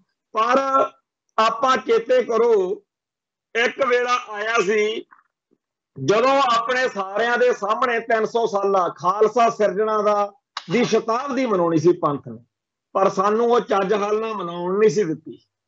ਉਹਨਾਂ 'ਚ ਸਰਦਾਰ ਬਰਜਿੰਦਰ ਸਿੰਘ ਹਮਦਰਦ ਵੀ ਨੇ। ਬਾਦਲ ਤੇ ਟੌੜੇ ਦੀ ਲੜਾਈ ਉਹ ਚਾਹੇ ਇਹਨਾਂ ਦੇ ਨਿੱਜੀ ਹਿੱਤਾਂ ਦੀ ਸੀ, ਚਾਹੇ ਉਹ ਕੋਈ ਕਾਰਨ ਮਰਜ਼ੀ ਸੀ, ਪਰ ਬਦਮਗਜੀ ਪੈਦਾ ਜਿਹੜੀ ਹੋਈ, ਉਹਦੇ ਨਾਲ ਸਮੁੱਚੇ ਸਿੱਖ ਜਗਤ ਨੂੰ ਬਹੁਤ ਸ਼ਰਮਿੰਦਗੀ ਦਾ, ਬੜੀ ਨਮੋਸ਼ੀ ਦਾ ਸਾਹਮਣਾ ਕਰਨਾ ਪਿਆ। ਦੂਸਰਾ ਇਹਦੇ ਨਾਲ ਜੁੜਿਆ ਹੋਇਆ ਮਸਲਾ, ਬਈ ਉਦੋਂ ਇੱਕ ਕਿਤਾਬ ਆਈ ਵੈਨਿਟੀ ਇਨਕਾਰਨੇਟ ਉਹ ਕਿਤਾਬ ਬੜੀ ਭੈੜੀ ਮਾੜੀ ਕਿਤਾਬ ਸੀ, ਉਹ ਤੇ ਬੈਨ ਲਾਤਾ। ਉਹ ਜਿਹੜਾ ਬੈਨ ਲਾਇਆ ਸੀ ਉਹ ਉਹ ਜਿਹੜੇ ਨੁਕਤੇ ਸੀ ਵੀ ਇਹਨਾਂ ਇਹਨਾਂ ਗੰਦੀਆਂ ਗੱਲਾਂ ਕਰਕੇ, ਭੈੜੀਆਂ ਗੱਲਾਂ ਕਰਕੇ ਬੈਨ ਲਾਉਨੇ ਆ, ਉਹ ਸਾਰੀਆਂ ਅਜੀਤ ਅਖਬਾਰ ਵਿੱਚ ਛਾਪਤੀਆਂ। ਤੇ ਜਥੇਦਾਰ ਭਾਈ ਰਣਜੀਤ ਸਿੰਘ ਨੇ ਉਸ ਖਬਰ ਲਿਖਣ ਵਾਲੇ ਨੂੰ ਤੇ ਅਖਬਾਰ ਦੇ ਮਾਲਕ ਨੂੰ ਸੱਦ ਲਿਆ, ਵੀ ਆਓ ਜੀ ਇੱਧਰ। ਤੇ ਇਹਨਾਂ ਨੇ ਜਥੇਦਾਰੀ ਬਦਲਵਾਤਾ। ਸੋ ਅਕਾਲ ਤਖਤ ਸਾਹਿਬ ਦੇ ਜਥੇਦਾਰ ਮਿੰਟੋ ਮਿੰਟੀ ਜਿਨ੍ਹਾਂ ਨੇ ਬਦਲਵਾਏ, ਜਿਨ੍ਹਾਂ ਨੇ ਜਥੇਦਾਰ ਗੁਰਚਰਨ ਸਿੰਘ ਟੌੜਾ ਨੂੰ ਸ਼੍ਰੋਮਣੀ ਕਮੇਟੀ ਦੀ ਪ੍ਰਧਾਨਗੀ ਤੋਂ ਲਾਇਆ ਨਾ ਤਾਂ ਸਾਨੂੰ ਇਸ ਗੱਲ ਦਾ ਹਿਰਖਾ ਵੀ ਟੌੜਾ ਸਾਹਿਬ ਨੂੰ ਕਿਉਂ ਲਾਤਾ? ਨਾ ਸਾਨੂੰ ਇਸ ਗੱਲ ਦਾ ਕੋਈ ਹਿਰਖਾ ਕਿ ਭਾਈ ਰਣਜੀਤ ਸਿੰਘ ਨੂੰ ਕਿਉਂ ਲਾਤਾ? ਕਿਉਂਕਿ ਸ਼੍ਰੋਮਣੀ ਕਮੇਟੀ ਦੇ ਪ੍ਰਧਾਨ ਬਦਲਦੇ ਆਏ ਆ, ਬਦਲਦੇ ਰਹਿਣੇ। ਜਥੇਦਾਰ ਅਕਾਲ ਤਖਤ ਤੋਂ ਬਦਲਦੇ ਆਏ ਆ, ਬਦਲਦੇ ਰਹਿਣੇ। ਪਰ 1999 ਦੇ ਮੌਕੇ ਜਦੋਂ ਸਾਡੀ ਕੌਮ ਨੂੰ ਇੱਕ ਜੁੱਟ ਤੇ ਇੱਕ ਮੁੱਠ ਹੋ ਕੇ ਦੁਨੀਆ ਦੇ ਸਾਹਮਣੇ ਆਪਦਾ ਇਤਿਹਾਸਕ ਦਿਹਾੜਾ ਮਨਾਉਣ ਦਾ ਵੇਲਾ ਸੀ। ਉਸ ਮੌਕੇ ਸਾਡੀਆਂ ਬੇੜੀਆਂ 'ਚ ਬੱਟੇ ਕਿਹਨੇ ਪਾਏ? ਬਾਂਦਰ ਵੰਡ ਕਿਹਨੇ ਕਰਾਈ? ਉਦੋਂ ਸਾਡਾ ਆਪਸ ਵਿੱਚ ਹੀ ਪਾਟੋ ਤਾੜ ਕਿਹਨੇ ਕਰਾਇਆ? ਹੋਰ ਬੜਾ ਕੁਛ ਆ, ਪਰ ਉਹਦੇ ਵਿੱਚ ਇੱਕ ਅਹਿਮ ਯੋਗਦਾਨ ਸਰਦਾਰ ਬਰਜਿੰਦਰ ਸਿੰਘ ਹਮਦਰਦ ਦਾ ਵੀ। ਸੋ ਇਹ ਗੱਲਾਂ ਇਤਿਹਾਸ ਦਾ ਹਿੱਸਾ ਨੇ। ਇਹ ਕਿਸੇ ਦੇ ਕਹਿਣ ਨਾਲ, ਕਿਸੇ ਦੇ ਲੁਕਾਉਣ ਨਾਲ ਲੁਕ ਨਹੀਂ ਜਾਣੀਆਂ। ਇਹ ਸਦੀਵੀ ਤੌਰ ਤੇ ਚਰਚਾ 'ਚ ਰਹਿਣਾ ਕਿ ਕਿਹੜੇ ਕਿਹੜੇ ਮੌਕੇ ਤੇ ਕਿਹਨੇ ਕਿਹਨੇ ਕੀ ਕੁਝ ਪੰਥ ਨਾਲ ਕੀਤਾ। ਸੋ ਜਿਹੜਾ ਬੀਤਿਆ ਵਕਤ ਆ, ਜੇ ਉਹਨੂੰ ਚੇਤੇ ਕਰਕੇ ਅੱਜ ਵਾਲੇ ਹਿਸਾਬ ਨਾਲ ਦੇਖੀਏ, ਤਾਂ ਇਹ ਆਸ ਵੀ ਨਹੀਂ ਬਣਦੀ, ਨਹੀਂ ਹੁੰਦਾ ਵੀ ਚਲੋ ਯਾਰ ਜੋ ਹੋ ਗਿਆ ਹੋ ਗਿਆ, ਹੁਣ ਤਾਂ ਅਗਲੇ ਠੀਕ ਨੇ। ਠੀਕ ਕਿੱਥੇ ਨੇ? ਆਉਣ ਵਾਲੇ ਸਮੇਂ ਦੇ ਵਿੱਚ ਇਹੀ ਸਾਰਾ ਕੰਡਰਖਾਨਾ ਫੇਰ ਹੋਣਾ, ਐਵੇਂ ਹੀ ਸਿਆਸੀ ਪਹਿਲਵਾਨਾਂ ਨੇ ਇੱਕ ਦੂਜੇ ਦੇ ਖਿਲਾਫ ਬਿਆਨਬਾਜ਼ੀ ਕਰਕੇ ਸਾਡੇ ਪੰਜਾਬ ਨੂੰ ਇੱਕ ਦੂਜੇ ਦੇ ਖਿਲਾਫ ਕਰਕੇ, ਪਾਟੋ ਧੜ ਕਰਕੇ, ਲੜਾਈ ਪੜਾਈ ਕਰਕੇ ਜੁੰਡ ਮਜੁੰਡੀ ਕਰਾਉਣਾ। ਤੇ ਇਹਦੇ ਵਿੱਚ ਫੇਰ ਕੀ ਆ? ਆਪ ਲੈ ਕੇ ਬਹਿ ਜਾਂਦੇ ਆ ਸਿਕਿਉਰਿਟੀਆਂ ਜੈਡ ਸਿਕਿਉਰਿਟੀਆਂ ਆਮ ਲੋਕ ਵਿਚਾਰੇ ਮਾਰੇ ਜਾਂਦੇ ਆ। ਹੁਣ ਆ ਜਿਵੇਂ ਖਬਰ ਆ ਵੀ ਭਗਵੰਤ ਮਾਨ ਨੇ ਕਿਹਾ ਵੀ ਅਸੀਂ ਤਾਂ ਜੀ ਜੈਡ ਪਲੱਸ ਸੁਰੱਖਿਆ ਲੈਣੀ ਨਹੀਂ। ਇਹ ਝੂਠ ਹੈ ਬਿਲਕੁਲ ਖਬਰ। ਅਸਲੀ ਗੱਲ ਇਹ ਆ ਕਿ ਉਹਨੇ ਕਿਹਾ ਵੀ ਦਿੱਲੀ ਤੇ ਪੰਜਾਬ ਤੋਂ ਬਾਹਰ ਆਪਾਂ ਲੈ ਲਿਆ ਕਰਾਂਗੇ ਜੀ। ਇੱਥੇ ਨਹੀਂ ਲੈਂਦੇ। ਇੱਥੇ ਇਹਨਾਂ ਕੋਲੇ ਆਪਦਾ ਹੈਗਾ ਕਿਉਂਕਿ ਦਿੱਲੀ 'ਚ ਵੀ ਕੇਜਰੀਵਾਲ ਮੁੱਖ ਮੰਤਰੀ ਆ, ਇੱਥੇ ਆਪ ਆ, ਇੱਥੇ ਇਹਨਾਂ ਨੂੰ ਲੋੜ ਨਹੀਂ। ਸੋ ਅਸਲ ਗੱਲ ਤਾਂ ਇਹ ਕਹਿਣ ਵਾਲੀ ਬਣਦੀ ਆ ਵੀ ਉਹਨੇ ਹਾਂ ਕੀਤੀ ਆ। ਨਾ ਥੋੜੀ ਕੀਤੀ ਆ, ਉਹਨੇ ਤਾਂ ਹਾਂ ਕੀਤੀ ਆ ਵੀ ਆਪਾਂ ਜੀ ਦਿੱਲੀ ਤੇ ਪੰਜਾਬ ਸਾਡੇ ਕੋਲੇ ਆਪਦੀ ਹੈਗੀ ਆ ਤੇ ਬਾਕੀ ਥਾਂ ਦੇ ਉੱਤੇ ਸਾਨੂੰ ਤੁਸੀਂ ਸਿਕਿਉਰਿਟੀ ਜਿਹੜੀ ਹੈਗੀ ਆ, ਉਹ ਜ਼ਰੂਰ ਦਿਓ। ਸੋ ਇਸ ਤਰ੍ਹਾਂ ਦੇ ਡਰਾਮੇ, ਇਸ ਤਰ੍ਹਾਂ ਦੇ ਸ਼ੋਸ਼ੇ ਸਾਰੇ ਸਿਆਸੀ ਪ੍ਰਵਾਨ ਕਰਦੇ ਆ। ਉਹ ਜਿਹਾ ਇਹ, ਸਾਡੇ ਜਿਹੜੇ ਭਗਵੰਤ ਸਿੰਘ ਮਾਨ, ਆਮ ਆਦਮੀ ਪਾਰਟੀ ਵਾਲੇ, ਉਹ ਕਰੀ ਜਾਂਦੇ ਆ। ਖੈਰ, ਇਹਨਾਂ ਮਸਲਿਆਂ ਤੋਂ ਪਰਾਂ ਜਾ ਕੇ ਇੱਕ ਹੋਰ ਜ਼ਰੂਰੀ ਮਸਲਾ ਉਹਦੇ ਉੱਤੇ ਚਰਚਾ ਕਰਨੀ ਬਣਦੀ ਆ ਕਿ ਭਾਰਤ ਦੇ ਪ੍ਰਧਾਨ ਮੰਤਰੀ ਹਿੰਦੂ ਰਾਸ਼ਟਰ ਦਾ ਜਿਹੜਾ ਝੰਡਾ ਚੱਕੀ ਫਿਰਦੇ ਆ ਮੋਦੀ ਐਂਡ ਕੰਪਨੀ ਵਾਲੇ, ਉਹਨਾਂ ਦੇ ਆਪਦੇ ਰਾਜ ਦੇ ਵਿੱਚ, ਗੁਜਰਾਤ ਦੇ ਵਿੱਚ ਬਨਾਸਕੰਠਾ ਜ਼ਿਲ੍ਹੇ ਦੇ ਵਿੱਚ ਕਿਸੇ ਪਿੰਡ ਦੀ ਖਬਰ ਆ ਅੱਜ ਸਾਰੇ ਮੀਡੀਆ 'ਚ ਉਹ ਚਰਚਾ ਹੈ ਵੀ ਇੱਕ ਜਿਨ੍ਹਾਂ ਨੂੰ ਭਾਰਤ ਦੇ ਮੂਲ ਵਾਸੀ ਕਿਹਾ ਜਾਂਦਾ, ਜਿਨ੍ਹਾਂ ਨੂੰ ਆਰੀਅਨ ਨਸਲ, ਹਿੰਦੂ ਜਿਹੜੇ ਲੋਕ ਨੇ, ਵਰਣ ਵੰਡ 'ਚ ਜਿਨ੍ਹਾਂ ਨੂੰ ਦਲਿਤ ਕਹਿੰਦੇ ਆ, ਸ਼ੂਦਰ ਕਹਿੰਦੇ ਆ, ਦਾਸ ਕਹਿੰਦੇ ਆ, ਉਹਨਾਂ ਵਿੱਚੋਂ ਜਿਨ੍ਹਾਂ ਨੂੰ ਇਹ ਨੀਵੀਂ ਜਾਤ ਕਹਿੰਦੇ ਆ। ਹਾਲਾਂਕਿ ਸਾਡਾ ਖਾਲਸਾਈ ਫਲਸਫਾ ਕਿਸੇ ਨੂੰ ਊਚ ਨੀਚ ਵਿੱਚ ਨਹੀਂ, ਪਰ ਇੱਥੇ ਇਹਨਾਂ ਨੇ ਅਖਬਾਰ ਨੇ ਵੀ ਲਿਖਿਆ, ਉੱਚੀ ਜਾਤ ਵਾਲਿਆਂ ਨੇ। ਉਸ ਨੀਵੀਂ ਜਾਤ ਦੇ ਮੁੰਡੇ ਨੂੰ ਕਿਹਾ ਵੀ ਤੂੰ ਸੋਹਣੇ ਕੱਪੜੇ ਕਿਉਂ ਪਾਈ ਫਿਰਦਾ ਤੂੰ ਚਸ਼ਮਾ ਲਾਇਆ, ਤੂੰ ਬੜਾ ਉੱਡਦਾ ਫਿਰਦਾ। ਇਹ ਸਾਰੀਆਂ ਗੱਲਾਂ ਰਿਕਾਰਡ ਤੇ ਆ ਅਖਬਾਰ 'ਚ ਛਪੀਆਂ ਨੇ। ਇਹਦੀਆਂ ਗੱਲਾਂ ਦੇ ਉੱਤੇ 6-7 ਬੰਦਿਆਂ ਨੇ ਆ ਕੇ ਉਹ ਰਾਜਪੂਤ ਬਰਾਦਰੀ ਵਾਲਿਆਂ ਨੇ ਉਸ ਦਲਤ ਭਾਈਚਾਰੇ ਦੇ ਮੁੰਡੇ ਨੂੰ ਬੇਦਰਦੀ ਨਾਲ ਕਟਾਪਾ ਚਾੜਿਆ ਕਿ ਤੂੰ ਸੋਹਣੇ ਕੱਪੜੇ ਕਿਉਂ ਪਾਏ ਆ ਤੂੰ ਸੋਹਣੇ ਕੱਪੜੇ ਪਾਏ ਤੇ ਨਾਲ ਚਸ਼ਮਾ ਲਾਈ ਫਿਰਦਾ। ਇਹ ਉਹਦਾ ਬੜਾ ਵੱਡਾ ਗਨਾਹ ਸੀ। ਤੇ ਉਹਦੀ ਮਾਂ ਨੂੰ ਵੀ ਕੁੱਟਿਆ। ਬੇਸ਼ੱਕ ਪਰਚਾ ਪੁਰਚਾ ਦਰਜ ਹੋ ਗਿਆ, ਪਰ ਪਰਚਾ ਤਾਂ ਜਿਹੜੇ ਸਾਡੇ ਤਿੰਨ ਮੁੰਡਿਆਂ ਦੇ ਨਾਲ ਉੱਥੇ ਇਹਨਾਂ ਨੇ ਮਾੜੀ ਕੀਤੀ ਆ, ਪਰਵਣੀ ਦੇ ਵਿੱਚ, ਮਹਾਰਾਸ਼ਟਰ ਦੇ ਉਧਰਲੇ ਪਾਸੇ, ਹਜੂਰ ਸਾਹਿਬ ਵਾਲੇ ਪਾਸੇ, ਵੀ ਇੱਕ ਤਾਂ ਸਾਡਾ ਭਰਾ, ਇੱਕ ਸਾਡਾ ਬੱਚਾ ਕੌਮ ਦਾ ਕਤਲ ਕਰਤਾ ਤੇ ਦੋ ਫੱਟੜ ਨੇ। ਪਰਚਾ ਤਾਂ ਉੱਥੇ ਵੀ ਦਰਜ ਹੋਇਆ। ਪਰਚੇ ਪੁਰਚੇ ਦਰਜ ਕਰਨ ਦਾ ਕੋਈ ਅਰਥ ਨਹੀਂ। ਅਸਲ ਵਿੱਚ ਇਸ ਇੰਡੀਆ ਦੇ ਵਿੱਚ ਵਸਦੇ ਹੋਏ ਇਹਨਾਂ ਬ੍ਰਾਹਮਣਵਾਦੀਆਂ ਦੀ ਸੋਚ ਗੰਦੀ ਹੈ, ਗਰਕੀ ਹੋਈ ਸੋਚ ਜਿਹਨੂੰ ਕਹਿੰਦੇ ਆ। ਵਾ ਹਿੰਦੂ ਰਾਸ਼ਟਰ, ਦੂਜੇ ਪਾਸੇ ਸਿੱਖ ਰਾਸ਼ਟਰ ਵਾ। ਇੱਥੇ ਕਿਸੇ ਨੂੰ ਪਹਿਲੀ ਗੱਲ ਤਾਂ ਜੁਰਤ ਨਹੀਂ ਹੈਗੀ ਵੀ ਜਾਤ ਦੇ ਆਧਾਰ ਤੇ ਕੋਈ ਡਿਸਕ੍ਰਿਮੀਨੇਸ਼ਨ ਕੋਈ ਵਿਤਕਰਾ ਕਰ ਬੈਠੇ। ਪਰ ਜੇ ਕੋਈ ਬਾਹਣਵਾਦ ਦੇ ਅਸਰ ਹੇਠ ਕਰ ਹੀ ਬੈਠੇ, ਤਾਂ ਪੰਜਾਬ ਦੀ ਧਰਤੀ ਉੱਤੇ ਕੋਈ ਸਿੱਖ ਇਹੋ ਜਿਹਾ ਨਹੀਂ ਮਿਲੂਗਾ ਜਿਹੜਾ ਉਹਦੀ ਹਮਾਇਤ ਕਰੇ। ਇਹ ਬ੍ਰਾਹਮਣਵਾਦ ਆ, ਜਿੱਥੇ ਇਸ ਬੱਚੇ ਨਾਲ ਕੁੱਟ ਕਟਾਪਾ ਹੋਇਆ, ਉੱਥੇ ਸਾਰੇ ਉਹਨੂੰ ਕਹਿ ਰਹੇ ਹੋਣੇ ਆ ਉਹਨਾਂ ਦੀ ਬਰਾਦਰੀ ਨੂੰ ਕਹਿ ਰਹੇ ਹੋਣੇ ਆ ਵੀ ਤੁਸੀਂ ਕਿਉਂ ਇਹ ਰੌਲਾ ਪਾਇਆ? ਜੇ ਤੁਹਾਡੇ ਛੱਤਰ ਫਿਰ ਵੀ ਗਿਆ ਸੀ ਤਾਂ ਆਰਾਮ ਨਾਲ ਅੰਦਰ ਬਹਿ ਜਾਂਦੇ। ਤੁਸੀਂ ਤੁਹਾਡੇ ਮੁੰਡੇ ਨੇ ਸੋਹਣੇ ਕੱਪੜੇ ਪਾਏ ਕਿਉਂ? ਇਹ ਤਾਂ ਤੁਹਾਡਾ, ਤੁਹਾਡੀ ਕਿਸਮਤ 'ਚ ਲਿਖਿਆ ਹੈ ਵੀ ਤੁਸੀਂ ਛੋਟੀ ਜਾਤ ਦੇ ਹੋ। ਤੁਸੀਂ ਜੇ ਛੋਟੀ ਜਾਤ ਦੇ ਹੋ, ਫਿਰ ਤੁਸੀਂ ਇਹ ਸਾਰਾ ਕੁਝ ਨਹੀਂ ਕਰ ਸਕਦੇ ਭਾਈ। ਦੱਸੋ, ਇੱਕ ਪਾਸੇ ਇਹ ਬਾਹਣਵਾਦ ਆ, ਜਿਹਦੀਆਂ ਬੜਾਈਆਂ ਕਰਦੇ ਆ ਹਿੰਦੂ ਰਾਸ਼ਟਰ ਵਾਲੇ, ਜਿਹਦੀਆਂ ਬੜੀਆਂ ਸੋਭਾ ਕਰਦੇ ਆ ਕਿ ਜੀ ਅਸੀਂ ਹਿੰਦੂ ਰਾਸ਼ਟਰ ਬਣਾਉਣਾ। ਆਹ ਵਾ ਉਹ ਮਹਾਨ ਭਾਰਤੀ ਸੰਸਕ੍ਰਿਤੀ ਜਿਹੜੀ ਬੰਦੇ ਨੂੰ, ਬੰਦੇ ਦਾ ਵੈਰੀ ਬਣਾਉਂਦੀ ਹੈ। ਤੇ ਇਹੋ ਜਿਹੇ ਰਸਮੋ ਰਿਵਾਜ ਬਣਾਏ ਗਏ। ਇਹੋ ਜਿਹੇ ਲੀੜੇ, ਕੱਪੜੇ, ਇਹੋ ਜਿਹੇ ਭਾਂਡੇ ਬਣਾਏ ਗਏ ਕਿ ਜੀ ਭਾਂਡਿਆਂ ਤੋਂ ਹੀ ਪਤਾ ਲੱਗ ਜਾਵੇ ਵੀ ਇਹਨਾਂ ਨੇ ਕਿਹੜੇ ਭਾਂਡੇ 'ਚ ਖਾਣਾ ਇਹ ਛੋਟੀ ਜਾਤ ਇਹ ਜਾਤ ਪਾਤ ਦੇ ਵਰਣ ਵੰਡ ਦੇ ਵਿਤਕਰੇ, ਇਹ ਮਨੂ ਸਿਮਰਤੀ ਜਿਹਦੇ ਵਿੱਚ ਢੋਰ, ਗਵਾਰ, ਸ਼ੂਦਰ, ਪਸ਼ੂ, ਨਾਰੀ, ਤਾੜਨ ਕੇ ਅਧਿਕਾਰੀ ਲਿਖਿਆ, ਜਿੱਥੇ ਔਰਤ ਦਾ ਤਿਰਸਕਾਰ ਆ ਜਿੱਥੇ ਹਰ ਚੰਗੀ ਚੀਜ਼ ਨੂੰ ਮਾੜਾ ਮੰਨਿਆ ਹੋਇਆ, ਉਹ ਸਾਰੀ ਸੋਚ ਜਿਹੜੀ ਹਿੰਦੂ ਰਾਸ਼ਟਰ ਦੀ ਧਰਮ ਤੋਂ ਜਾਏ, ਉਹਨੂੰ ਕਹਿੰਦੇ ਆ ਸਾਨੂੰ ਵੀ ਸਲਾਮ ਕਰੋ। ਸੋ ਗੁਰਮਤ ਦਾ ਜਿਹੜਾ ਸੱਚਾ ਸੁੱਚਾ ਮਾਡਲ ਹੈ, ਜਿਨ੍ਹਾਂ ਨੂੰ ਸੱਚੇ ਪਾਤਸ਼ਾਹ ਦੇ ਇਤਿਹਾਸ ਦਾ, ਫਲਸਫੇ ਦਾ ਮਾੜਾ ਮੋਟਾ ਵੀ ਪਤਾ, ਜਿਹਨੇ ਕੋਈ ਸਿੱਖ ਇਤਿਹਾਸ ਦੀ ਸਹੀ ਕਿਤਾਬ ਪੜ੍ਹੀ ਹੈ, ਉਹ ਬੰਦਾ ਇੱਕ ਸਕਿੰਟ ਲਈ ਵੀ ਹਿੰਦੂ ਰਾਸ਼ਟਰ ਦਾ ਜਾਂ ਬ੍ਰਾਹਮਣਵਾਦ ਦਾ ਪੱਖ ਨਹੀਂ ਪੂਰ ਸਕਦਾ। ਸਾਡੇ ਵਿੱਚ ਜਿਹੜੇ ਮਾਤਾ ਦਾ ਮਾਲ ਬਣ ਕੇ ਲਵਾ ਕੇ ਮੰਦਰ ਤੋਂ ਤਿਲਕ ਜਿਆ ਤੇ ਖੜਾ ਕੇ ਬੂਦੀਆਂ ਜੀਆਂ ਪਾ ਕੇ ਮੁਕਟ ਤੇ ਮਾਤਾ ਦੀ ਜੈ ਬਰੋਦੇ ਫਿਰਦੇ ਆ। ਉਹਨਾਂ ਨੇ ਨਾ ਤਾਂ ਇਤਿਹਾਸ ਪੜ੍ਹਿਆ, ਨਾ ਫਲਸਫੇ ਦਾ ਪਤਾ, ਜਾਂ ਕਿਸੇ ਕੇਸਾਧਾਰੀ ਬਾਹਣ ਕੋਲੇ ਜਾ ਫਸੇ। ਉਹਨੇ ਉਹਨਾਂ ਨੂੰ ਮਾਤੀ ਇਹੋ ਜੀ ਦਿੱਤੀ, ਭਾਈ ਜਿਹੜਾ ਦਲਤ ਕਹਿ ਕੇ ਲੋਕਾਂ ਨੂੰ ਕੁੱਟਣਾ, ਔਰਤ ਜਾਤੀ ਦੇ ਖਿਲਾਫ ਮਾੜੇ ਤੋਂ ਭੈੜੇ ਵਿਚਾਰ ਰੱਖਣੇ, ਇਹ ਸਾਰਾ ਕੁਝ ਜਿਹੜਾ ਬ੍ਰਾਹਮਣਵਾਦ ਦੀ ਸ਼ਾਨ ਆ। ਇਸੇ ਕਰਕੇ ਕਲਗੀਧਰ ਸ਼ਹਿਨशाह ਨੇ ਕਿਹਾ, ਭਾਈ ਜਬ ਲਗ ਖਾਲਸਾ ਰਹੇ ਨਿਆਰਾ, ਤਬ ਲਗ ਤੇਜ ਦੇਉ ਮੈਂ ਸਾਰਾ। ਜਬ ਜੇ ਗਹਿ ਵਿਪਰਨ ਕੀ ਰੀਤ, ਮੈਂ ਨਾ ਕਰੂੰ ਇਨਕੀ ਪ੍ਰਤੀਤ। ਜਿਹੜਾ ਸਿੱਖ ਖਾਲਸਾ, ਜੇਕਰ ਕਿਸੇ ਉੱਤੇ ਇੱਥੇ ਜ਼ੁਲਮ ਹੋਵੇ, ਤੇ ਉਸ ਜ਼ੁਲਮ ਦੀ ਕਰੇ ਹਮਾਇਤ। ਜੇ ਉਹ ਕਵੇ ਕਿ ਠੀਕ ਆ, ਤੁਹਾਡੀ ਜਾਤ ਨੀਵੀਂ ਆ, ਤੁਹਾਡੇ ਨਾਲ ਹੋਣਾ ਚਾਹੀਦਾ। ਉਹ ਸਿੱਖ ਹੋਈ ਨਹੀਂ, ਉਹਦਾ ਸਿੱਖ ਹੋਣ ਦਾ ਉਸੇ ਕੇ ਸਰਟੀਫਿਕੇਟ ਕੈਂਸਲ ਆ, ਜਿਹੜਾ ਜਾਤ ਦੇ ਆਧਾਰ ਤੇ ਵਿਤਕਰਿਆਂ ਦਾ ਹਾਮੀ ਹੈ ਜਾਤ ਦਾ ਹੰਕਾਰ ਕਰਨਾ ਗੁਨਾਹ, ਜਾਤ ਦਾ ਨੀਮਾ ਮੰਨ ਕੇ ਆਪਦੇ ਅੰਦਰ ਹੀਣਤਾ ਲਿਆਉਣੀ, ਉਹ ਵੀ ਓਡਾ ਹੀ ਗੁਨਾਹ। ਠੀਕ ਆ, ਅਸੀਂ ਕਿਸੇ ਦੇ ਮਥਾਜ ਨਹੀਂ ਰਹਿਣਾ, ਪਰ ਜੇਕਰ ਭਾਰਤ ਵਿੱਚ ਰਹਿੰਦਿਆਂ ਹੋਇਆਂ ਇਥੋਂ ਦੇ ਸਿਸਟਮ ਨੇ ਸਾਨੂੰ ਇਸ ਚੱਕਰ 'ਚ ਫਸਾਇਆ ਹੋਇਆ ਵੀ ਸਾਨੂੰ ਸਰਟੀਫਿਕੇਟ ਲੈ ਕੇ ਬਹੁਤ ਪਖੰਡ ਕਰਨੇ ਪੈਂਦੇ ਆ ਪੁੱਠੇ ਸਿੱਧੇ, ਤਾਂ ਇਹਦਾ ਮਤਲਬ ਇਹ ਨਹੀਂ ਕਿ ਅਸੀਂ ਬਾਹਮਣ ਦੇ ਪੱਕੇ ਭਗਤ ਬਣ ਜਾਈਏ ਤੇ ਜਾਤ ਆਧਾਰਤ ਕਰਮ ਕਾਂਡ ਕਰਨ ਬਹਿ ਜਾਈਏ। ਪਰ ਅਫਸੋਸ ਦੀ ਗੱਲ ਆ ਕਿ ਇਸ ਮੁਲਕ ਦੇ ਵਿੱਚ ਇਹ ਜਿਹੜੇ ਦੱਬੇ ਕੁਚੜੇ ਲੋਕ ਨੇ, ਇਹ ਆਪਦੀ ਆ ਬਰਾਦਰੀਆਂ ਦੇ ਉਹਨਾਂ ਲੋਕਾਂ ਦੀ ਗੱਲ ਵੀ ਨਹੀਂ ਸੁਣਦੇ। ਇਸ ਵੇਲੇ ਬੜੀ ਵੱਡੀ ਗਿਣਤੀ ਵਿੱਚ ਸਮਾਜ ਦੇ ਵਿੱਚ ਉਹ ਲੋਕ ਸਰਗਰਮ ਨੇ ਜਿਹੜੇ ਇਹਨਾਂ ਨੂੰ ਕਹਿੰਦੇ ਆ ਵੀ ਭਾਈ ਜੇ ਬਾਹਮਣ ਤੋਂ ਬਚਣਾ ਬਾਹਮਣਵਾਦ ਦੇ ਜ਼ਬਰ ਤੋਂ ਬਚਣਾ ਤਾਂ ਸਿੱਖ ਸਜੋ। ਪਰ ਇਹ ਲੋਕ ਬਾਹਮਣ ਤੋਂ ਜੁੱਤੀਆਂ ਤਾਂ ਖਾਈ ਜਾਂਦੇ ਆ, ਪਰ ਇਹ ਇਸ ਪਾਸੇ ਨੂੰ ਨਹੀਂ ਆਉਂਦੇ। ਜਦੋਂ ਕੋਈ ਗੁਰੂ ਦਾ ਸਿੱਖ ਸੱਜ ਜਾਂਦਾ, ਉਹਦੇ ਬਹੁਤ ਸਾਰੇ ਅਧਿਕਾਰ ਉਹਨੂੰ ਸਿੱਖ ਹੋਣ ਦੇ ਨਾਤੇ ਮਿਲ ਜਾਂਦੇ ਆ। ਮੈਂ ਸਾਡੇ ਪਿੰਡੂ ਭਾਈਚਾਰੇ ਦੇ ਵਿੱਚ ਇਹੋ ਜਿਹੇ ਬਜ਼ੁਰਗ, ਇਹੋ ਜਿਹੇ ਸੂਝਵਾਨ ਲੋਕਾਂ ਦੇ ਵਿੱਚ ਬਚਪਨ ਤੋਂ ਵਿਚਰਿਆ ਜਿਹੜੇ ਸਾਨੂੰ ਮੱਤਾਂ ਦਿੰਦੇ ਹੁੰਦੇ ਸੀ ਕਿ ਭਾਈ ਸਿੱਖ, ਸਿੱਖਾਂ 'ਚ ਨੁਕਸ ਹੋ ਸਕਦਾ ਕੋਈ ਹੋਵੇ, ਸਿੱਖੀ 'ਚ ਕੋਈ ਨੁਕਸ ਨਹੀਂ। ਆਓ ਆਪਾਂ ਗੁਰੂ ਦੇ ਪਿਆਰੇ ਖਾਲਸੇ ਦੇ, ਗੁਰੂ ਦੀ ਸਿੱਖੀ ਨੂੰ ਧਾਰਨ ਕਰੀਏ।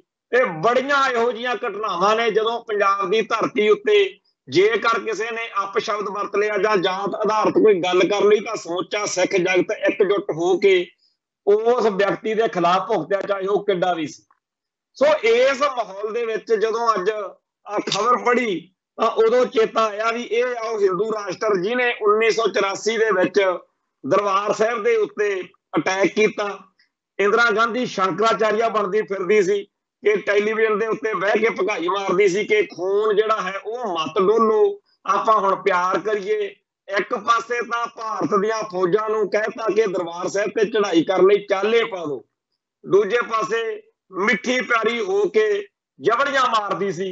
ਇਹਨੂੰ ਵੀ ਕਹਿੰਦੇ ਆ ਨਾ ਵੀ ਮੂੰਹ ਵਿੱਚ ਰਾਮ ਰਾਮ, ਬਗਲ ਵਿੱਚ ਛੁਰੀ। ਸੋ ਇਹ ਉਹ ਲੋਕ ਨੇ ਜਿਨ੍ਹਾਂ ਬਾਰੇ ਕਵਿਤਾਵਾਂ ਬੜੀਆਂ ਹੋਈਆਂ ਨੇ। ਛਲ ਸੇ ਮੰਗ ਲਿਆ ਕਰਤੇ ਹੈ, ਅੰਗੂਠੇ ਕਾ ਦਾਨ। ਸੋ ਸੱਚੇ ਪਾਤਸ਼ਾਹ ਸਾਨੂੰ ਸਿੱਖੀ ਦਾ ਸੱਚਾ ਸੁੱਚਾ ਜਿਹੜਾ ਸੰਦੇਸ਼ ਆ ਸਾਡੇ ਮਨਾਂ 'ਚ ਵਸਾਉਣ, ਸਰਬੱਤ ਦੇ ਭਲੇ ਲਈ ਲੜਨਾ ਤੇ ਮਰਨਾ ਸਿਖਾਉਣ, ਜ਼ਬਰ ਜ਼ੁਲਮ, ਪਾਪ, ਛਲ, ਕਪਟ ਦੇ ਸਾਹਮਣੇ ਅੜਨਾ, ਮਰਨਾ ਤੇ ਜੂਝਣਾ ਸਿਖਾਉਣ, ਇਹੀ ਇਹਨਾਂ ਹੀ ਬੇਨਤੀਆਂ ਨਾਲ ਸਮਾਪਤੀ ਕਰਦੇ ਆ ਕੱਲ ਫਿਰ ਮਿਲਾਂਗੇ। ਨਾਨਕ ਨਾਮ ਚੜ੍ਹਦੀ ਕਲਾ, ਤੇਰੇ ਭਾਣੇ ਸਰਬੱਤ ਦਾ ਭਲਾ। ਵਾਹਿਗੁਰੂ ਜੀ ਕਾ ਖਾਲਸਾ, ਵਾਹਿਗੁਰੂ ਜੀ ਕੀ ਫਤਿਹ।